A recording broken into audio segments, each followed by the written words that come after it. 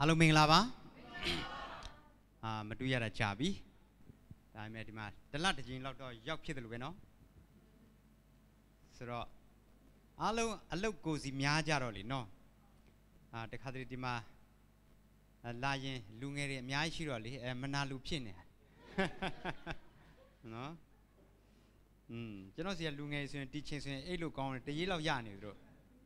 เนาะဟုတ်ပြီအာ အချိန်ကောင်းပြင်ဆင်တဲ့ဘုရားသခင်ကိုချီးမွမ်းတယ်လို့အာနေရာပေးကြတဲ့ဆရာနဲ့အသင်းတော်ကော်မတီအားလုံးကိုလည်းအထူးကျေးဇူးတင်ကြောင်းပြောချင်ပါတယ်ဒီနေ့ညကပွဲတော်မင်္ဂလာလေးရှိတယ်เนาะအဲဒါကြောင့်ဒီ two ordinances of Christ အာခရစ်တော်ရဲ့အသင်းတော်ကိုပေးခဲ့တဲ့မင်္ဂလာနှစ်ပါးနဲ့ပတ်သက်ပြီးတော့ဒီညအဲ့ဒါလေးကျွန်တော်ဆင်ခြင်ရအောင်အာ Christmas season နေတောက်လျှောက်ဖြစ်တော့ အာအဝတလလုံးနော်ဆက်ပြီးတော့နားထောင်ကြလိမ့်မယ်ဆိုတော့အဲ့ဒီအပိုင်းလည်းကောင်းသလိုဒီညအဲ့ဒီနှစ်ချက်လေးကျွန်တော်အာအတူတူကအာနားလည်ပြီးသားပါပဲဒါပေမဲ့ကျွန်တော် revision ပြန်လုပ်အောင်နော်ခဏလေးဆူတောင်းမယ်နော်မြေတော်ရှင်ပါဖရာကိုတော့ပုံကြည့်ပါစေခရစ်ရှင်ကိုဖိတ်ခေါ်စရာမလိုပဲကျွန်တော်တို့ဖိတ်ခေါ်ပြီးနေရာပေးလို့ယေရှုတင်တယ်ဒီနေရာမှာခရစ်ရှင်ရှိတယ်ဒီမျက်လုံးတွေကကိုတော့မမြင်နိုင်ပေမဲ့စိတ်ဝိညာဉ်ထဲမှာနှွေးထွေးစွာအတူပါရှိပေးလို့ယေရှုတော်ချီးမွမ်းတယ် အစလည်းအဆုံးဝိညာဉ်တော်ဘုရားကိုယ်တိုင်ပဲဥဆောင်ပေးတော်မူပါနှုတ်ကပတ်တော်ကြားပြောခြင်းကြားနာခြင်းနှစ်ခုစလုံးအပေါ်မှာတက်ဝင်လှုပ်ရှား၍တကူပါစေပါစိတ်ဝိညာဉ်ကိုတို့ထိပြီးစကားပြောပေးပါသခင်ရှိပြန်မျက်နှာမှာ၌ဆုတောင်းစက္ကအနံလေးအစာပြုပါတယ်ပါအာမင်ဆိုတော့အသင်းတော်ကိုသခင်ယေရှုပေးခဲ့တဲ့မင်္ဂလာနှစ်ပါးနံပါတ်1ပဋိစ္စံမင်္ဂလာနံပါတ်2ဘွဲတော်မင်္ဂလာเนาะဒီနှစ်ချက်ကရုပ် အာမရှိမဖြစ်ဒီလက်ရှိအသင်းတော်မှာကျင့်သုံးရတဲ့အရာဖြစ်တယ်နော်ဆိုတော့နံပါတ်1ပဋိစ္စံမင်္ဂလာဒါကသခင်ရှုမိတ်မှာတဲ့အမိန့်ဖြစ်တယ်နော်ပဋိစ္စံခံဖို့ဆိုတာက this is not option နော် this is not a choice ဒါယဉ်ချင်းမင်္ဂလာခံဖို့အဲ့ဒါဟာအမိန့်ဖြစ်တယ် ရွေးချယ်မှုဝိဒီရွေးချယ်မှုပေးထားတာမဟုတ်ဘူးကိုယ်စိတ်ကြိုက်ယဉ်ချင်းခံခြင်းလဲခံမယ်မခံခြင်းလဲမခံဘူးငါသဘောပဲအဲ့လိုမျိုးရွေးချယ်ခိုင်းထားတဲ့အရာမဟုတ်ဘူးနော်သင်တို့သွား၍လူမျိုးတကာတို့ကိုငါတပည့်ဖြစ်စီလျက်ခမဲတော်သားတော်တန်ရှင်တော်ဝိညာဉ်တော်နာမ၌ပဋိစ္စံကိုပေးကြလော့နော် ပေးခြင်းလဲပေးကြလော့ယူခြင်းလဲယူကြလော့အဲ့လိုမျိုးမဟုတ်ဘူးနော်ဒါဟာအမိန့်ဖြစ်တယ်အမိန့်တော်မှရိုးရိုးတာမန်လူရက်ွက်ဥက္ကဋ္ဌအုပ်ကြီးတွေထုတ်တဲ့အမိန့်မဟုတ်နော်စကြဝဠာလုံးဆိုင်ရာအရှင်သခင်ရဲ့အမိန့်တော်ဖြစ်တယ်နော်ရွေးချယ်ခိုင်းထားတယ်ဆိုရင်တော့ fine မရှိဘူးနော်ဒါပေမဲ့အမိတ်ပေးထားတယ်ဆိုရင်တော့မလုပ်ရင်ဖိုင်းရှိတယ်တန်ရှိတယ် နော်အဲ့တော့ဒီကြမ်းချက်ကြောင့်အတူတူကဖတ်ရအောင်ရှင်မသဲအခန်းကြီး20နဲ့8မှာ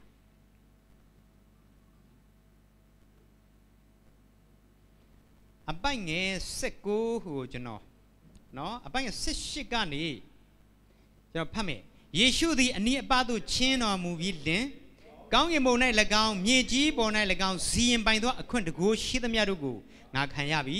သင်တို့သွား၍လူမျိုးတကာတို့ကိုငါတပည့်ဖြစ်စေလျက်ခမဲတော်သားတော်တန်ရှင်းသောဝိညာဉ်တော်၏နာမ၌ပဋိစ္စံကိုပေးကြလော့ဟုတ်ပြီနော်ဆိုတော့ဒါကစီရင်ပိုင်သောအခွင့်ကောင်းကင်မြေကြီးအကုန်လုံးသခင်ယေရှုစီမှာအနှင်းထားတယ်အဲ့ဒါကြောင့် तू စီရင်ပိုင်ခွင့်ရှိတယ် तू စီရင်လိမ့်မယ်အဲ့ဒီအခွင့်တကိုးနဲ့ပြည့်စုံတဲ့သခင်ကပေးထားတဲ့အမိန့်ဖြစ်တယ်နော် အဲ့ဒါကြောင့်ပြီးတော့မာကုအခန်းကြီး16ကိုကြောင်းကြည့်မယ်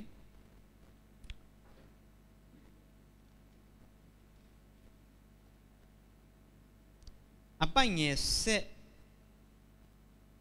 ငါးကနေသင်တို့သည်လောကီနိုင်ငံအရရရှိသမျှသို့သွား၍ဝိနည်းတတ္တဝအပေါင်းတို့အားဧဝံဂေလိတရားကိုဟောကြားလော့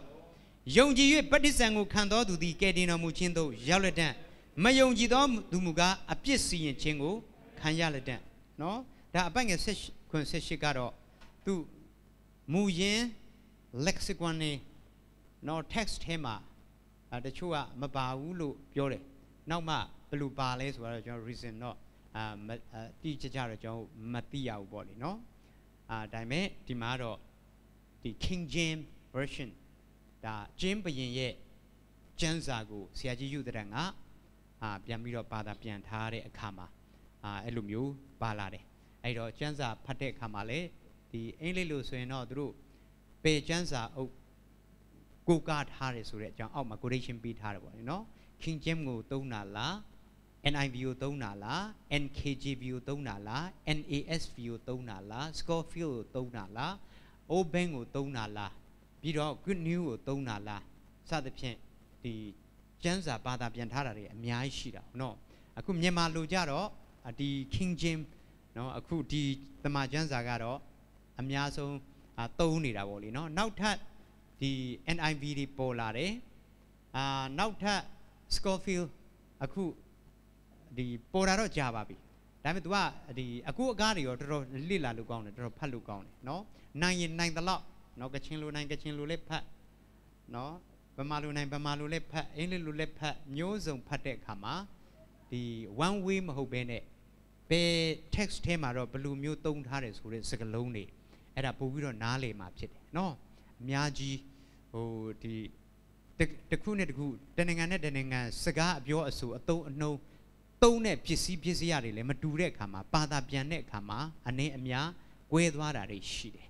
เนาะအဲ့ဒါကြောင့်များများလေ့လာနိုင်လေလေကောင်းလေပဲတ ချို့ကြတော့လည်းနည်းနည်းပေါ့ပြစ်ပြစ်ဖြစ်တာပေါ့နော်အကျဉ်းစာအာခုနကာလန်သေးတန်အရာပစ္စည်းအသုံးနှုန်းတွေမတူတာတွေဥပမာကျွန်တော်တို့အာငါတဘိုးသည်ထမ်းလွယ်ဤဆိုတော့ဒီကျမ်းစာကဆရာကြီးယုတတန်က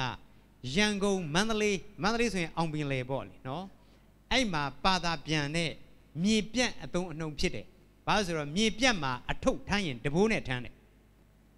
ကျွန်တော်တို့ တောင်ပေါ်သားတွေအတွက်ကြတော့တဘိုးမထမ်းရဘူးလေနော်တောင်ထိပ်မှာဒီလောက်မတ်စောင့်နေတာဘယ်လိုလုပ်တဘိုးနဲ့သွားထမ်းပါအဲ့ဒါနော်အဲ့ဒါတောင်ကပန်းကိုတဘိုးနဲ့ထိုးနေုံပဲရှိတယ်ပေါ်တက်သွားမရဘူးအဲ့တော့ဘာနဲ့ထမ်းရလဲပလိုင်းနဲ့အဲ့တော့ကျွန်တော်ချင်းလူပါတာပြန်တဲ့အခါမှာငါတဘိုးတီဆိုတဲ့ဟာကိုဖယ်ပြီးတော့ငါပလိုင်းကျိုးတီထမ်းလွယ်ဤလို့ပါတာပြန်ရတယ်နော်အဲ့ဒါကြောင့်ကျန်းစာပါတာပြန်တဲ့အခါမှာ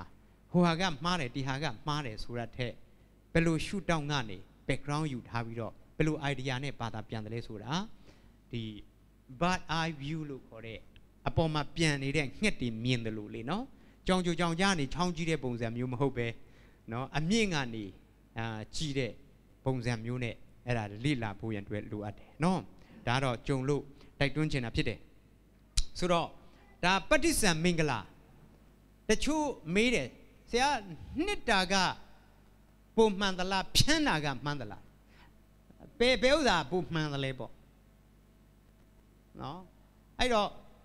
ကျွန်တော်လဲသူတို့အေးဖြန်းတာမှန်သလားနှစ်တာမှန်သလားဆိုတာကျွန်တော်ကယ်တင်နာသခင်ဖြစ်တယ်သခင်ကဖြန်းဆိုရင်ဖြန်းသခင်ကနှစ်ဆိုရင်နှစ်လိုက်ဒါဆိုရင်ရှင်းတယ်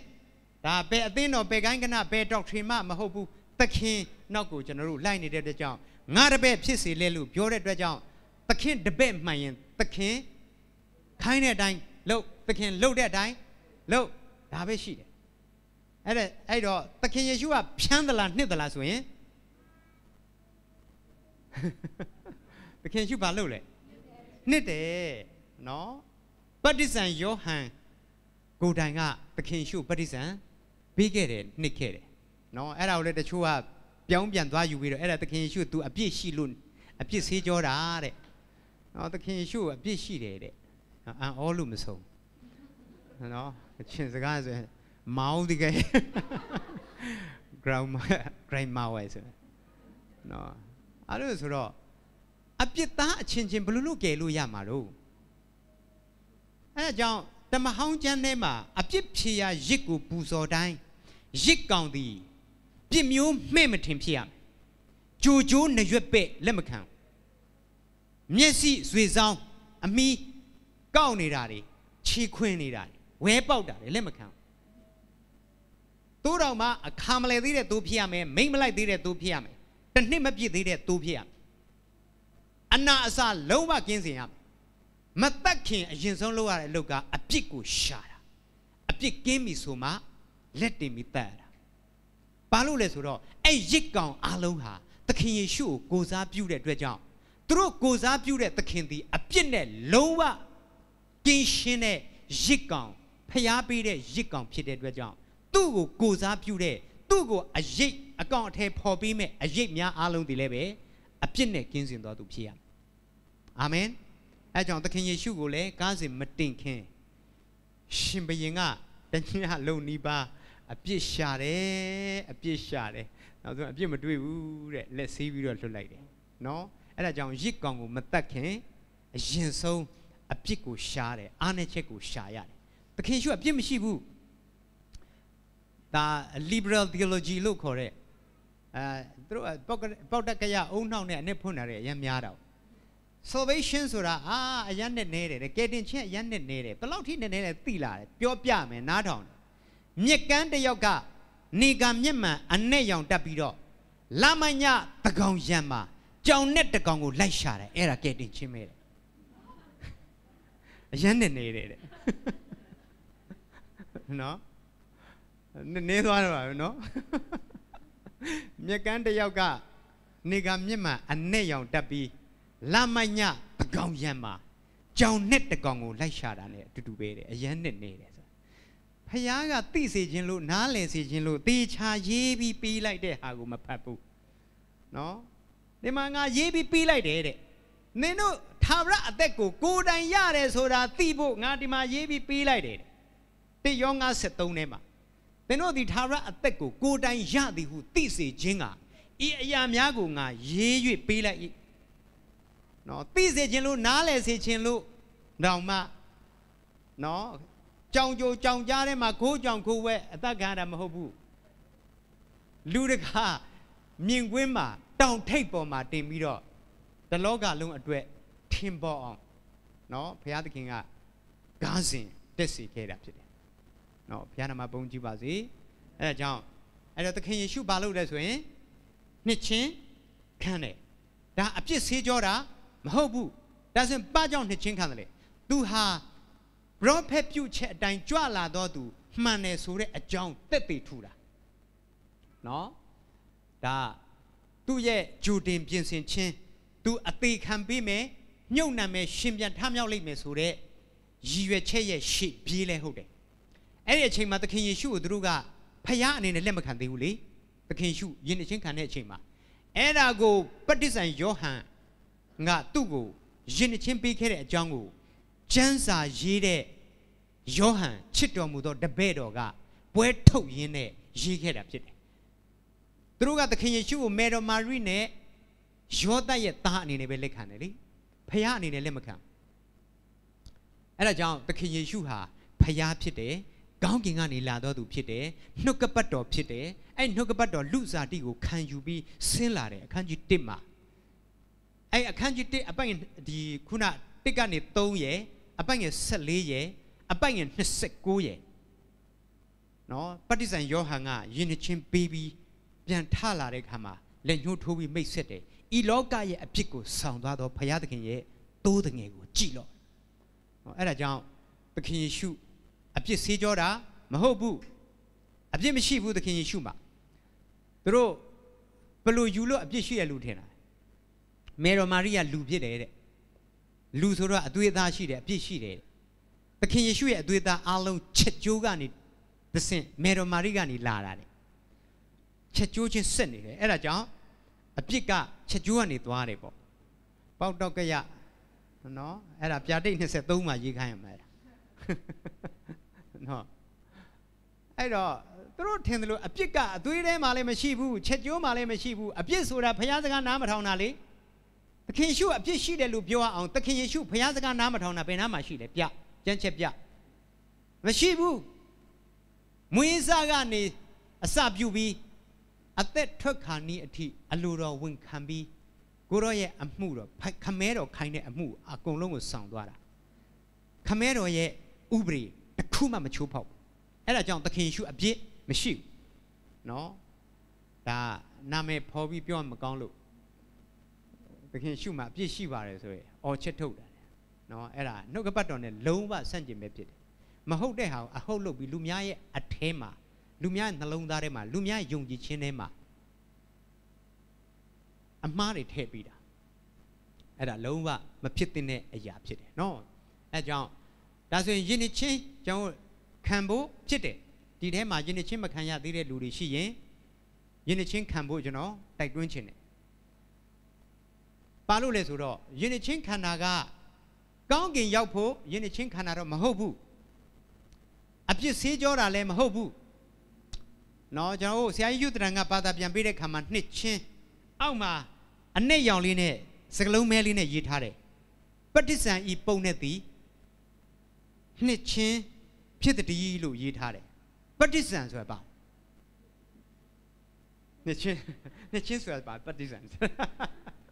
အဲ့တော့ပဋိစ္စံ Greek စကားလုံးကနေလာတဲ့ဝဟာရဖြစ်တယ် baptizo နော် အရာဝတ္ထုတစ်ခုရဲ့အထဲမှာအရာဝတ္ထုတစ်ခုနစ်မြုပ်တည်ရှိတာအထဲထဲမှာရှိနေတာအဲ့ဒါကို baptizo လို့ခေါ်တယ်အဲ့ baptizo ကနေအင်္ဂလိပ်လို baptism baptize ပြီးတော့မှ adopted word အနေနဲ့စကားလုံးမွေးစားတယ် baptism baptizo ကနေ baptism baptism ကနေ baptism ဖြစ်တာအဲကြောင့် baptism စကားလုံးနှလုံးသုံးလုံးစင်တိုင်းပါဠိမဟုတ်နော်အဲကြောင့်ပါဠိလိုတချို့လို့တချို့ကပါဠိလိုထင်တာနော် baptism ဆိုတော့ဒါနဲ့နဲ့ထူဆန်းတယ်ဒါပါဠိစာဖြစ်ရမယ် ဟုတ်ဘူးနော်အတန်ထွက်ယူထားတာ baptizo ဆိုတာကနစ်မြုပ်ခြင်းအထဲမှာဘယ်သူကဘယ်သူရဲ့အထဲမှာဘာကြောင့်နစ်မြုပ်နေတာလဲဆိုတာအဖြေရှာဖို့လိုအပ်တယ်နော်ဆိုတော့အထဲ၌နစ်မြုပ်ခြင်းနစ်မြုပ်တယ်ဆိုတဲ့စကားလုံးအရေနဲ့ဆိုင်တော့ရေနဲ့ဆိုင်လာတော့နှစ်တယ်ခေါ်တယ်နော်တစ်တာထဲမှာထည့်တာကြတော့နစ်မြုပ်တယ်လို့ပြောလို့မရပြန်ဘူးနော်တစ်တာထဲမှာထည့်တယ်ပေါ့ မီးထဲမှာထည့်တာရောရေထဲမှာထည့်ရင်ရေနှစ်ချင်းမီးထဲမှာထည့်ရင်မင်းနှစ်ချင်းဒီနေ့အဖြစ်ငရဲရောက်တာပေါ့ကွာအဲ့တော့ငရဲရောက်တာပေါ့အထဲမှာတည်ရှိတာအဲ့တော့ကျွန်တော်တို့အပြစ်ရှိတဲ့လူသားတွေအပြစ်နဲ့လူနဲ့ခွဲလို့မရဘူးလူရှိတဲ့နေရာမှာအပြစ်ရှိတယ်မွေးရပါတေမအပြစ်မလုပ်နိုင်တော့တာ သေတာတောင်လုံနေသေးတယ်ဆိုမဟုတ်လို့နော်ဒါမဟုတ်တော့မသေးတာဖြစ်ရမယ်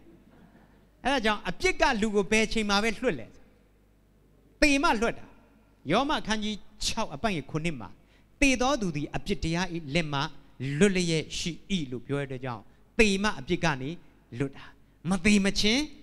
အပြစ်ကနေမလွတ်ဘူးဘာလို့မွေးကလေးကအသွေးရယ်အသားရယ်အသက်ရယ်အပြစ်ရယ် ဒါမွေးရပါအစိတ်သိမ့်တယ်လူကစာရမဏရဲ့အစိတ်နော်မွေကလူကိုပေါက်လိုက်တော့မွေစိတ်တွေဘယ်ထဲမှာဝင်သွားမွေစိတ်မိတဲ့ခါမှာအရင်ဆုံးပါထိခိုက်နှလုံးသွေးကိုခဲစေတယ်နှလုံးက၄ခန်းရှိတယ်အပေါ်နှစ်ခန်းနဲ့အောက်နှစ်ခန်းသွေးလွှတ်ကြောနဲ့သွေးပြန်ကြော အဲ့ဒါတွေအားလုံးကို तू ကစီးစင်းလို့မရအောင်ဒီခဲသွားအောင်လုပ်တယ်မွေစိတ်ကအဲ့ဒါပြီးတာနဲ့ပထမ side effect ဖြစ်တာပါလို့ဆိုရင်မျက်စိစကန်းတယ်တဖြည်းဖြည်းနဲ့ပြာနှမ်းနှမ်းတဖြည်းဖြည်းနဲ့အတီရောနော်အမွေစိတ်မိတဲ့အခါမှာအခုအာဒန်နဲ့အေဝဖျားစကားကိုညင်းပယ်ပြီးစာရမဏရဲ့စကားနားထောင်တဲ့အချိန်ကနေစပြီးဝိညာဉ်မျက်စိစကန်းတယ် ဝိညာဉ်ပိုင်းဘာမှမမြင်တော့နှုတ်ကပတ်တော်သတိပေးထားတယ်နှစ်ကောဘယ်လောက်လဲ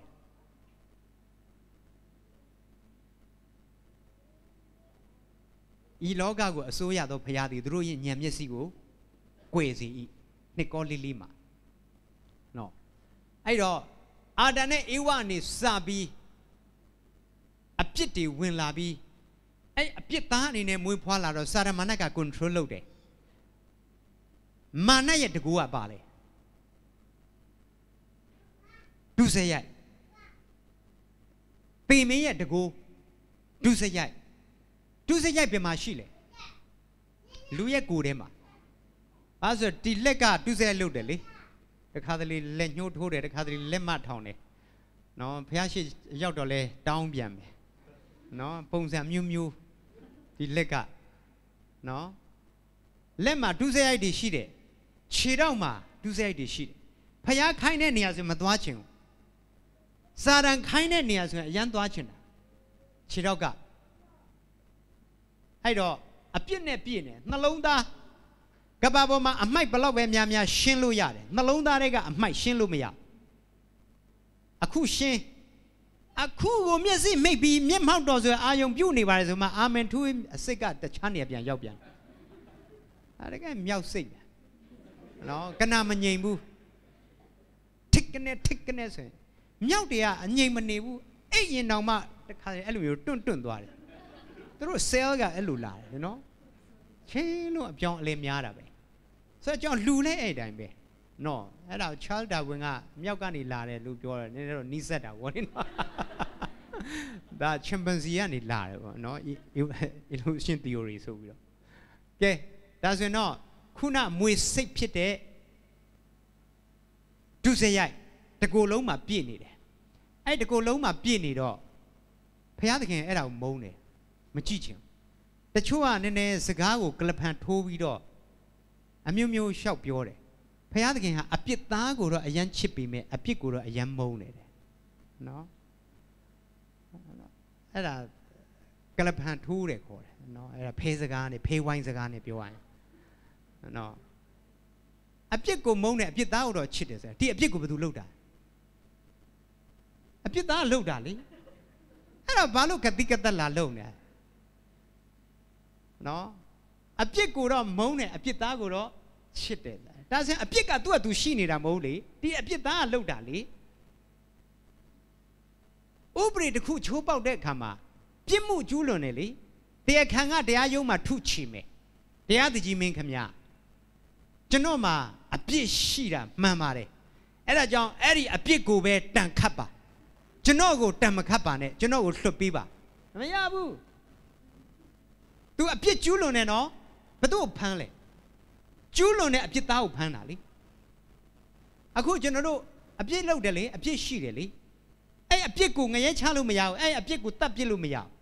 အပြစ်လုပ်တဲ့လူကိုတန်စီရင်ရတာအဲ့ဒါကြောင့် လူနဲ့အပြစ်နဲ့ကတိကတက်သွားခွဲတယ်နော်ဒါအပြစ်ကတတ်တတ်လူကတတ်တတ်အဲ့လိုမျိုးမဟုတ်ဘူးဒါယောမခုနှစ်အနဲ့ဖွင့်တယ်နည်းနည်းများသွားတယ်နော်ကဲဒါဆိုတော့အပြစ်နဲ့လူနဲ့ခွဲလို့မရလို့အဲ့ဒီအပြစ်သားတွေဘုရားသခင်အရာကျေးဇူးတင်တယ်သခင်ယေရှုရဲ့လူစားတိခံယူခြင်းကိုယ်ခန္ဓာတစ်ခုလိုအပ်တယ်ခုနအပြစ်နဲ့ပြည့်နေတဲ့ကိုယ်ခန္ဓာကို ဖြစ်စည်းဖို့ရန်အတွက်အဲ့ဒါဒီမက ဖန်ဆင်းစတုန်းကလို့အဖြူထဲအပြစ်နဲ့လုံးဝကင်းစင်တဲ့ကိုယ်ခန္ဓာတစ်ခုအဲ့ဒါကိုလိုချင်တယ်အဲ့တော့ကိုယ်ခန္ဓာနှစ်မျိုးသုံးမျိုးအနေနဲ့တိတန့်ဖះမပြီးတော့တစ်မျိုးတည်းရပြီအဲ့ဒီကိုယ်ခန္ဓာတစ်ခုတည်အပြစ်နဲ့ပြည့်တဲ့လူသားအလုံးရဲ့ကိုယ်ခန္ဓာကိုလည်းကိုစားပြုရမယ်အဖြူတဲ့အပြစ်နဲ့လုံးဝကင်းစင်တဲ့ဖះပကတိရဲ့အဖြူတဲ့ကိုယ်ခန္ဓာကိုလည်း ကိုစားပြုရမယ်ကိုယ်ခန္ဓာတစ်ခုဖះပြီးသောကိုယ်ခန္ဓာအဲ့ဒါသခင်ယေရှုရဲ့ကိုယ်ခန္ဓာဖြစ်တယ်ဘုရားနာမပုံကြည့်ပါစေနည်းနည်းတယ်ဒီကိုယ်ခန္ဓာနဲ့ပတ်သက်ပြီးတော့ဆာလံဆရာကတချင်းဆက်တယ်ဆာလံတချင်းနံပါတ်40เนาะအပိုက်ငယ်6ကနေ8မှာကိုတော်ဒီရစ်နဲ့ဘူးစောတကာကိုလက်မခံသောအခါ ကျန်းစာလိမ့်နဲ့အကျွန်ုပ်ကိုကြီးမှတ်၍ရေးထားသည်နဲ့အညီအကျွန်ုပ်သွားပါပြီအဲ့ဒါကိုဟေပြဲကျမ်းရေးဆရာကပြန်ကိုးကားတယ်ဟေပြဲအခန်းကြီး30အပိုက်ငယ်9နဲ့6မှာကျန်းစာလိမ့်နဲ့အကျွန်ုပ်ကိုရီမှတ်၍ရေးထားတဲ့အတိုင်းကျွန်တော်သွားမယ်ဘုရားသခင်ကငါအတွက်ကိုယ်ခန္ဓာကိုပြင်ဆင်တော်မူပြီနော်ဖျားပြီးတဲ့ကိုယ်ခန္ဓာလူစားတီခံယူပြီးဆင်းလာတဲ့သခင်ယေရှု ဒီမှာခဏခဏကျွန်တော်ပြောနေတဲ့ဒီဖျားသခင်နံဝိညာဉ်ဆိုကိုယ်ခန္ဓာမပေါ်ဘူးလေနော်တန်ရှင်တော်ဝိညာဉ်တော်လည်းနံဝိညာဉ်ဆိုကိုယ်ခန္ဓာမပေါ်ဘူးဖျားသခင်နဲ့ပတ်သက်ပြီးအမြဲတမ်းကိုယ်ခန္ဓာပိုင်းတာဝန်ယူတာကသခင်ယေရှုဖြစ်တယ်ဒါတမဟောင်းကျမ်းမှာဆိုရင်တော့ခရစ်စတိုဖာနီလို့ခေါ်တယ်။ဒီနေ့အဖြစ် theophany လို့လည်းခေါ်တယ် funny ဆိုတာ reveal ကိုထင်ရှားတာ theo ဆိုတာဘုရားသခင် ဘုရားသခင်ရဲ့ကိုထင်ရှားခြင်းနဲ့ပတ်သက်ရင်သခင်ယေရှုကအမြဲတမ်းတာဝန်ယူရတယ်တောတုံနဲ့ကွန်မရာမြို့မိရှို့တယ်ကောင်းကင်တမန်အနေနဲ့ကိုခန္ဓာထဲမှာထင်ပေါ်ပြီးတာဝန်ယူရတယ်အာဗြဟံစီမှာဝင်ရင်းနဲ့ဆုပ်တူလန်ဝင်တော့ခဲ့တယ်နော်ခုနကတော့ကျွန်တော်ဆုပလူတာသွားတောက်တယ်အာဗြဟံစီမှာဝင်ပြီးတော့အာဗြဟံနွားတက်ပြီးတော့တခါလဲစပြုတ်လုပ်ပြီးတော့တိုက်တယ်အဲ့မှာ အဲ့ဒါတို့သခင်ယေရှုပြန်ပြောတာ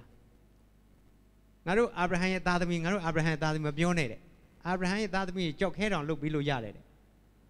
အာဗြဟံမဖြစ်မီငါဖြစ်တယ်ဆိုတာဟိုကကျူးတွေကလုံးဝလက်မခံမင်းတို့အဘအာဗြဟံငါ့ကိုတွေ့ချင်လို့မျောနေတယ်လေတဲ့ငါ့ကိုတွေ့တဲ့အခါမှာ तू ပျော်သွားတယ်လေလို့အဲ့လိုပြောတော့ခမရအသက်50တောင်မရှိသေးဘဲနဲ့ငါတို့အဘအာဗြဟံဘလို့လို့တွေ့တာအဲ့မှာဝိုင်းပြီးသူတို့သမချင်တာနော်ဒါရောမအခန်းကြီး၈ထဲမှာ အာဗြဟံတော်သခင်ယေရှုကိုပဲမျှော်ခဲ့တာကပ္ပဦးကျမ်းခန်းကြီး7နှစ်တစ်ကနေ3ထဲမှာတင့်ကိုလူမျိုးကြီးဖြစ်စေမယ်တင့်အားဖြင့်လူမျိုးတကာကောင်းကြီးခံစားရမယ်ဆိုတာလေတကယ်အာဗြဟံကိုလည်းညှို့ထိုးနေတာမဟုတ်ပဲတင့်အားဖြင့်သင်ဆိုတဲ့သခင်ယေရှုကိုပြောနေတာနော်ဒါဂလာတိအခန်းကြီး3ထဲမှာထပ်ရှင်းထားတယ်အဲ့တော့ဖယားသခင်ပြင်ဆင်ပေးတဲ့ကိုယ်ခန္ဓာ तू ကတစ်တိ 36မှာနောက်ကနေလိုက်ဆိုရအောင်ဖယားသခင်သည်ကိုယ်ခန္ဓာ၌ပေါ်ထွန်းတော်မူပြီးဖယားသခင်ကိုယ်ခန္ဓာထဲမှာပေါ်လာတယ်တဲ့ကျွန်တော်တို့ကိုချစ်လို့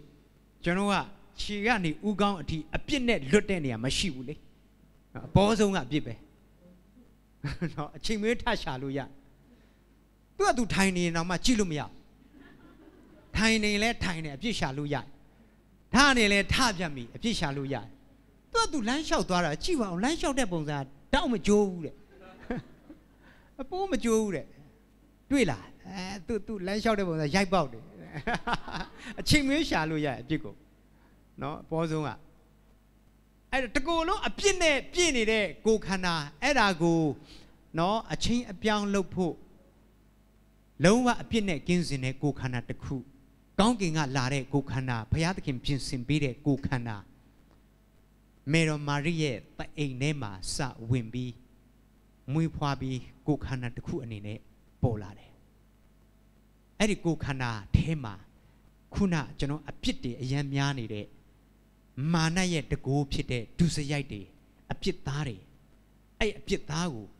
ခုနအဖြူတယ်ဖြစ်တဲ့သခင်ယေရှုရဲ့ကိုယ်ထဲမှာပေါင်းထည့်ပြီးတော့ ဖယားသခင်ကိုဒေါသထွက်စေတဲ့အပြစ်ရှိသမျှအလုံးကိုရှင်းပစ်ခြင်းတာနော်ရှင်းထုတ်ခြင်းတာကျွန်တော်အမျိုးသမီးတွေကိုဦးစားပေးတဲ့အနေနဲ့ဟေဘရဲအခန်းကြီး2အပိုင်ငယ်14နဲ့15ကိုကြည့်အောင် lady first อืมဟုတ်ပြီတွေးတော့မယ်တွေးတော့မယ်ရှားနေပြီ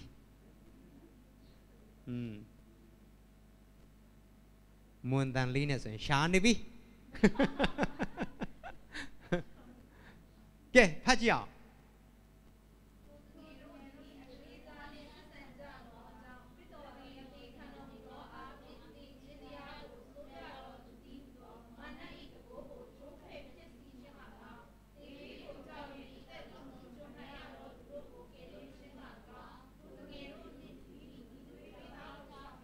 အာမင်ထိုတငယ်တို့ဆိုဘယ်သူကိုပြောတာ ကျွန်တော်တို့ကိုပြောနေတာအသွေးအသားရှိတယ်အသွေးသားနဲ့ဆက်ဆံကြသောကြောင့်ခရစ်တော်သည်အသေးခံတော်မူရာတွင်ဘာလို့မလဲမာနရဲ့တကူဆိုခုနအပြစ်ဒုစရိုက်တွေအပြစ်နဲ့ပြည့်နေတဲ့ကိုယ်ခန္ဓာအဲကြောင့်မာနရဲ့တကူကိုဘာလုပ်ရမလဲချိုးဖက်ဖြစ်စည်းခြင်းက၎င်းတေဘေးကိုကြောက်ရတဲ့သလုံးကြုံခံရသောသူတို့ကိုကယ်နှုတ်ခြင်းက၎င်းထိုတငယ်တို့ဤနီးတူအသွေးအသားကိုဆောင်ယူတော်မူ၏အ ပြစ်နဲ့ကင်းစင်ပြီးအဖြူတဲ့ပုဂ္ဂိုလ်အနေနဲ့ဖွားမြင်ပြီးခုနအပြစ်သားတွေအားလုံးရဲ့အသက်တာအသီးသီးကိုသခင်ယေရှုရဲ့ကိုယ်ထဲမှာပေါင်းထည့်တော့မယ်နှစ်ချင်းဆိုတာအဲ့ရနေစတာအပြစ်နဲ့လူနဲ့ခွဲလို့ရလားမရလူရှိတဲ့နေရာမှာအပြစ်ရှိတယ်အဲ့တော့အပြစ်နဲ့ကင်းစင်တဲ့ကိုဖြစ်တဲ့သခင်ယေရှုရဲ့ကိုယ်ထဲမှာ အပြစ်နဲ့ပြစ်နှစ်တဲ့ကျွန်တော်တို့ရဲ့ကိုယ်ကိုပေါင်းထည့်တာနှစ်ကော9 21မှာနောက်ကင်လိုက်ဆိုအောင်အပြစ်နဲ့ကင်းစင်သောသူကိုငါတို့အတွက်အပြစ်ရှိသောသူဖြစ်စေတော်မူပြီနော်အပြစ်နဲ့ကင်းစင်သောသူဘာတူလဲယေရှုအပြစ်နဲ့ကင်းစင်သောသူကိုငါတို့အတွက်အပြစ်ရှိသောသူဖြစ်စေပြီ အဲ့တော့အဖြူတဲ့ထဲမှာအမဲဆက်ချလိုက်ရင်အားလုံးကအမဲဆက်ပဲမြင်နေတယ်နော်သခင်ရှုခြေကနေကောင်းအကုန်လုံးဘာတစ်ခုမှအပြစ်မရှိဘူးကျွန်တော်ကကြတော့အပြစ်အဲ့ဒါကြောင့်ကျွန်တော်တို့တွေအားလုံးကိုသခင်ယေရှုရဲ့ကိုယ်ထဲမှာပေါင်းထည့်တယ်ကျွန်တော်အားလုံးကိုပြန်ချုပ်လိုက်ရင်အာဒံစီမှာပဲပြန်ဆုံတာပဲလေနော်အာဒံရဲ့ကိုယ်တစ်ခုထဲကနေပွားတာလေမျိုးပြုတ်ခါနီတော်သေးတယ်ဘယ်တော့ကတော့နော်အေးလက်ထက်မှာရှစ်ယောက်ပဲကြံတယ်လေနော် အဲ့ဒါကြောင့်ဒီအသွေးသားတစ်ခါတလေဒီအသွေးသားကိုကြည့်ပြီးတော့အော်ဒီအသွေးသားတာမညတော့မဟုတ်ဘူးအီဒင်ဥယျင်ထဲကနေစထွက်လာတဲ့အသွေးသားဖြစ်တယ်ကောင်းမကောင်းပြီးကြောရအပင်ကိုစားခဲ့တဲ့အသွေးသားအသက်ပင်ရဲ့အသီးကိုလည်းစားဘူးတော့အသွေးသားဖယားပကတိနဲ့နေအေးသောအချိန်တိုင်းမိတ္တဟာယဖွဲ့ခဲ့ဘူးတော့အသွေးအသားနော်အေဒင်ဥယျင်ထဲကနေ အခုအပြစ်ကျူးလွန်ပြီးတဲ့နောက်ပိုင်းမှာနှင်ထုတ်ခံလိုက်ရတော့အကြီးမားဆုံးသောအရာဆုံးရှုံးသွားတယ်။ဘေးအရာနဲ့မှအစားပြန်ထိုးလို့မရ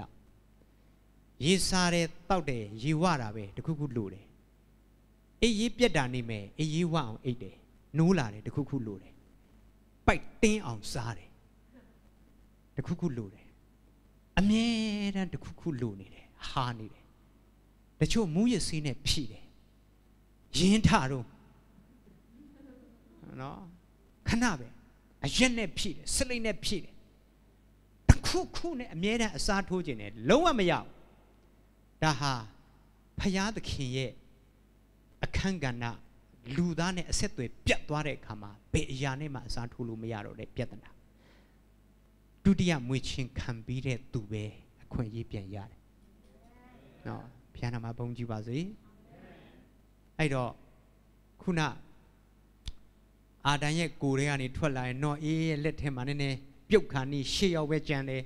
အဲ့လိုနဲ့လိန်ဖယ်လိန်ဖယ်နဲ့အခုထိကြံနေတယ်ဒီအသွေးသားရှော့မတွက်နဲ့အဲ့ဒါအေဒင်ဥယျာဉ်တွေကနေလာတာနော်ကြားထဲမှာမျိုးပြုတ်သွားလို့အသစ်ဖန်ဆင်းနေဆိုတော့တမျိုးပေါ့လေနော်အခုဒီမျိုးမပြုတ်သေးဘူးလေအဲကြောင့်အာဒံရဲ့မျိုးဆက်လေသားမြင့်မြင့်တီတွစ်ကျွတ်ဆက်ဖေဘိုးဘေးဘီဘင်ပေါင်ဘက် ဒါဆွေခုနှစ်စင်မျိုးခုနှစ်ဆက်ထက်ဆက်အောင်ရတယ်အာဒံအာဒံနဲ့စောတဲ့လူမှမရှိတာနော်အဲ့တော့အာဒံရဲ့အဖေကဖရာသခင်ကဲဒါဆိုရင်တော့ကျွန်တော်အာဒံရဲ့မျိုးဆက်တွေအားလုံးအဲ့ဒါကြောင့်လူဖရာသခင်ရဲ့ရှေ့မှာအာဒံစီမာလာသခင်ယေရှုစီမာလာလူပုဂ္ဂိုလ်နှစ်ယောက်ကနေတဆင့်ပဲကျွန်တော်တို့ကိုမြင်တာဖြစ်တယ်မပြောင်းလဲသေးတဲ့လူမှန်သမျှအကုန်လုံးအာဒံစီမာပဲ ဒုတိယမွေးချင်းခံပြီးတဲ့သူတာလင်သခင်ယေရှုစီမာဒါပေမဲ့အပြစ်နဲ့ပြည့်တဲ့ကိုယ်ခန္ဓာအာဒံရဲ့ကိုယ်ခန္ဓာအဲ့ဒါကိုအပြစ်နဲ့ကင်းစင်တဲ့နောက်ထပ်အာဒံကိုဘုရားသခင်ပြင်ဆင်ပြီးစီလွှတ်တယ်တေကော15မှာအပိုင်ငယ်45ထဲမှာပထမအာဒံသည်မြေသားဖြစ်၏အသက်ရှင်သော လူဖြစ်တယ်တတ္တဝါဖြစ်တယ်ယခုဖြစ်သောအာဒံမူကားအသက်ကိုရှင်စေသောဝိညာဉ်ဖြစ်၏သခင်ယေရှုဟာနောက်ဆုံးအာဒံအသက်ကိုရှင်စေတဲ့ဝိညာဉ်ကောင်းကင်ကနေလာတဲ့ဝိညာဉ်နော်အဲ့ဒီကောင်းကင်ကလာတဲ့အာဒံရဲ့ကိုယ်ထဲမှာကျွန်တော်တို့အပြစ်သားတွေကိုပေါင်းထည့်တာနော် အပြစ်သားတွေအားလုံးယေရှုရဲ့အထဲမှာထည့်ပေးတယ်ခမဲတော်ကတစ်ကောတစ်30မှာထိုဘုရားသခင်အားဖြင့်သင်တို့သည်ယေရှုခရစ်၌တည်နေကြ၏ယေရှုရဲ့ကိုယ်ထဲမှာပေါင်းထည့်တယ်ခမဲတော်သားတော်ကငါကိုမြေကြီးနဲ့ခွာပြီးမြှောက်ထားကြလိမ့်မယ်အဲ့အချိန်ကျရင်လူအပေါင်းတို့ကိုငါစီကိုငါဆွဲမယ်သားတော်ကလက်ဝါးကတိုင်ပေါ်မှာကျွန်တော်တို့ကိုဆွဲပြီ ခမဲတော်သားတော်တန်ရှင်သောဝိညာဉ်ကြံသေးတယ်တတိကောအခန်းကြီး7အပတ်ငယ်73မှာထိုဝိညာဉ်တော်အဖျင်ကိုတကူထဲသို့ပฏิစံကိုခံကြ၏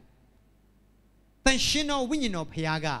ကိုတကူတည်းဟူသောဖခင်ပေးတဲ့ကိုခန္ဓာယေရှုရဲ့ကိုထဲမှာကျွန်တော်တို့ကိုပฏิစံပေးတယ်အဲ့ဒါကြောင့်ခမဲတော်သားတော်တန်ရှင်တော်ဝိညာဉ်တော်သုံးပါးတဆူဖြစ်တဲ့ဖခင်က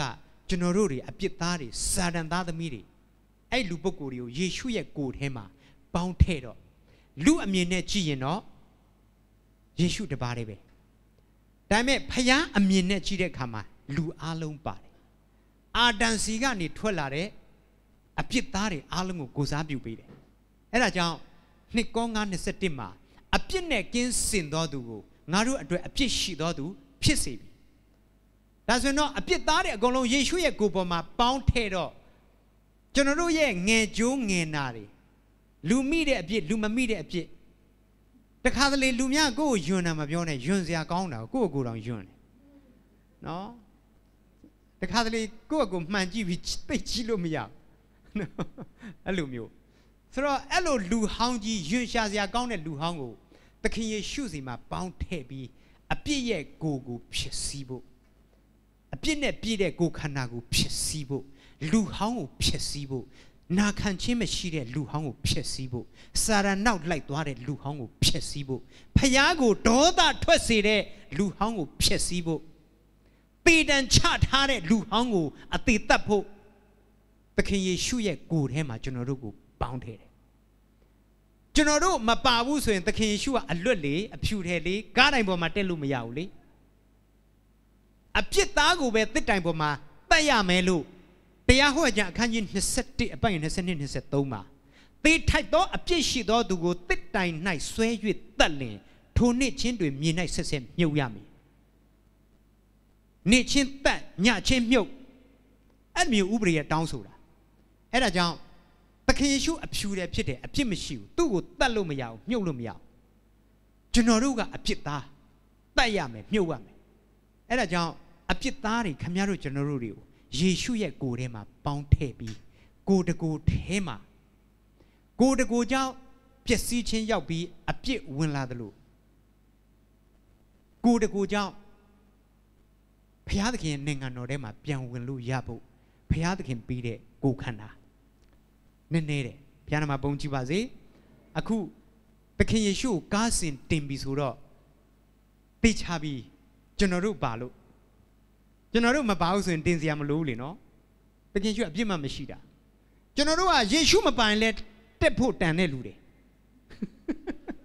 အခုဘုရားသနာလို့သခင်ယေရှုရဲ့ကိုယ်ထဲမှာကျွန်တော်တို့ပေါင်းထည့်ပြီးတော့တင်ပေးတာအဲ့ဒါကြောင့်လက်ဝါးကတိုင်မှာသခင်ယေရှုကိုအမျက်တော်သွန်းလောင်းပြီးရှင်မသက်အခန်း20ကွန်အပိုင်ငယ်40နဲ့6မှာအပဲ့အကြောင်းကျွန်ုပ်ကိုစွန့်ပစ်တော်မူသည်။ခမဲတော်ကသူ့ကိုစွန့်ပစ်ပလိုက်တယ်။ မျက်နှာလွှဲပလိုက်တယ်။ပါရိုက်တယ်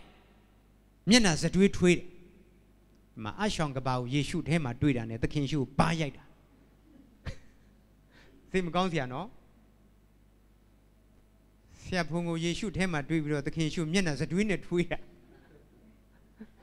သိမကောင်းစရာ။ဟေရှာယ53နော်ဒီဆာလ22 မာသဲ29မာကု14လူကအခန်းကြီးဘယ်လောက်လဲ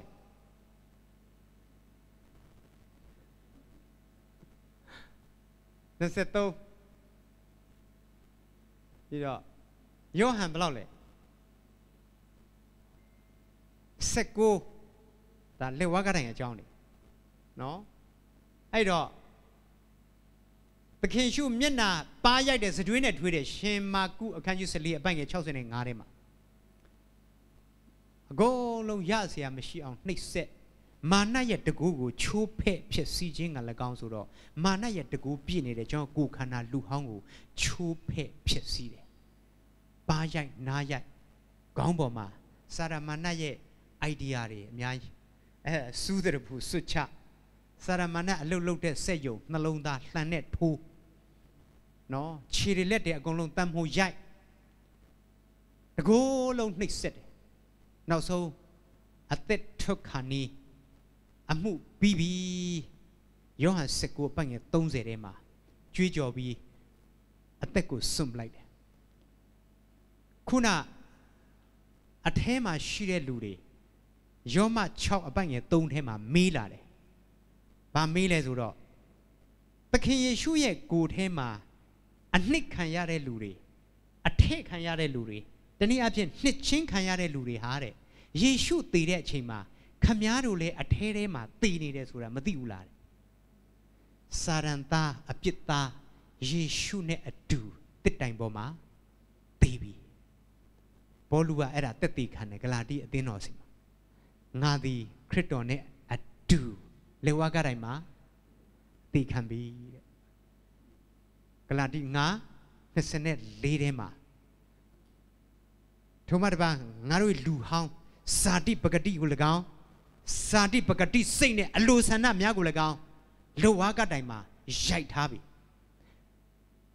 ပြီးတော့ယောမ66ထိုမှတပါငါတို့လူဟောင်းသည်ထိုသခင်နဲ့အတူလောဝါကတိုင်မှာအသေးသက်ခြင်းကိုခံရပြီဟုငါတို့သိကြ၏ လူဟောင်းတပ်ပစ်တယ်ကဲဒါဆိုရင်ယေရှုတည်တော့ကျွန်တော်တို့လည်းတည်ပြီအဲ့လိုတတ်လို့ရအောင်တည်လို့ရအောင်အသွေးအသားကိုဆောင်ယူခိုင်းတာအခုအတူသေးပြီအတူသေးတော့မြုပ်နှံပြီအတူရှင်ပြီးတော့မှမြုပ်တာတော့မဆောင်တော့ကြာလို့နော် ထိုနေ့ချင်းတွေမြင်၌ဆက်ဆက်မြုပ်ရမယ်လို့ပြောတဲ့အတွက်ကြောင့်တစ်တိုင်ကနေခွာပြီးချက်ချင်းမြုပ်ရတယ်နောက်တစ်နေ့ဆိုဥပုံနေ့ရောက်တော့မယ်လေကျောင်းပြက်ကလေးနဲ့သူတို့ပြက်ကလေးနဲ့မတူဘူးကျောင်းပြက်ကလေးကပုတ်ယဟန်မင်းကြီးကေကိုရီးယားကနေဆွဲထားတဲ့ပြက်ကလေးသူတို့ကဂျူးပြက်ကလေးညနေပိုင်းနေဝင်ရင်နောက်တစ်နေ့ရောက်သွားပြီလေနောက်တစ်နေ့ကစနေနေ့ဥပုံနေ့ပေါ့ဝင်တော့မှာနော်အဲ့ဒါကြောင့်သူတို့မိုးမချုပ်ခင်နေမဝင်ခင်တင်းကြိုင်းထဲမှာအမိမြုပ်ရတာ အဲ့ဒါကြောင့်ညနေပိုင်း3နာရီမှာကားစဉ်ကနေခွာပြီးတော့မိုးမချုပ်ခင်မြုပ်ရတာ9နာရီမှာကားစဉ်တင်တယ်12နာရီမှာအသက်ဆွန့်တယ်ညနေပိုင်း3နာရီမှာကားတိုင်းကနေချတယ်မြေချတယ်အချိန်မြေတကြွရတယ်ဒါဆိုရင်ခုနယေရှုနဲ့အတူသေပြီဆိုတော့မြုပ်ရင်လည်းယေရှုနဲ့အတူမြုပ်ပြီယောမ6 4ကိုလိုတဲ့အခန်းကြီး2အပိုင်းငယ်7မှာထိုသခင်နှင့်အတူ တကြွခြင်းကိုခံကြ၏ပြီးသွားပြီနော်လူကတေးပြီဆိုရင်ဘာလုပ်ရလဲမြုပ်မြုပ်ပြီးရင်ဘာလုပ်သေးလဲဘာလုပ်เสียရှိနာမည်စရင်ဖြစ်ပေါ့နော်အိမ်ထောင်စုစရင်တွေကနေဖြစ်နိုင်ငံသားစရင်တွေကနေဖြစ်ပုံစံ30တွေကနေမြန်မာပြည်ပုံစံအရဆိုရင်ပုံစံ30တွေကဖြစ်ကိုပါဝင်ပတ်သက်ခဲ့သမျှအကုန်လုံး ဖြစ်ပြီ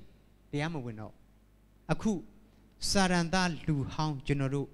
ယေရှုနဲ့အတူတည်တဲ့အတွက်ကြောင့်ယေရှုနဲ့အတူမြုပ်တဲ့အတွက်ကြောင့်စာရမဏတ်စီမှာကျွန်တော်တို့ရဲ့ဖြစ်ခြင်းအကုန်လုံးကိုစရင်ဖြစ်ပြီစာရန်ရဲ့အိမ်သားတွေကစရင်ဖြစ်ငရဲသွားရမယ့်မိသားစုထဲကနေဖြစ်ပေချင်းဟာခွဲခွာခြင်းဖြစ်တဲ့အတွက်ကြောင့်ယေရှုရဲ့ကိုယ်ခန္ဓာနဲ့တည်ပြီး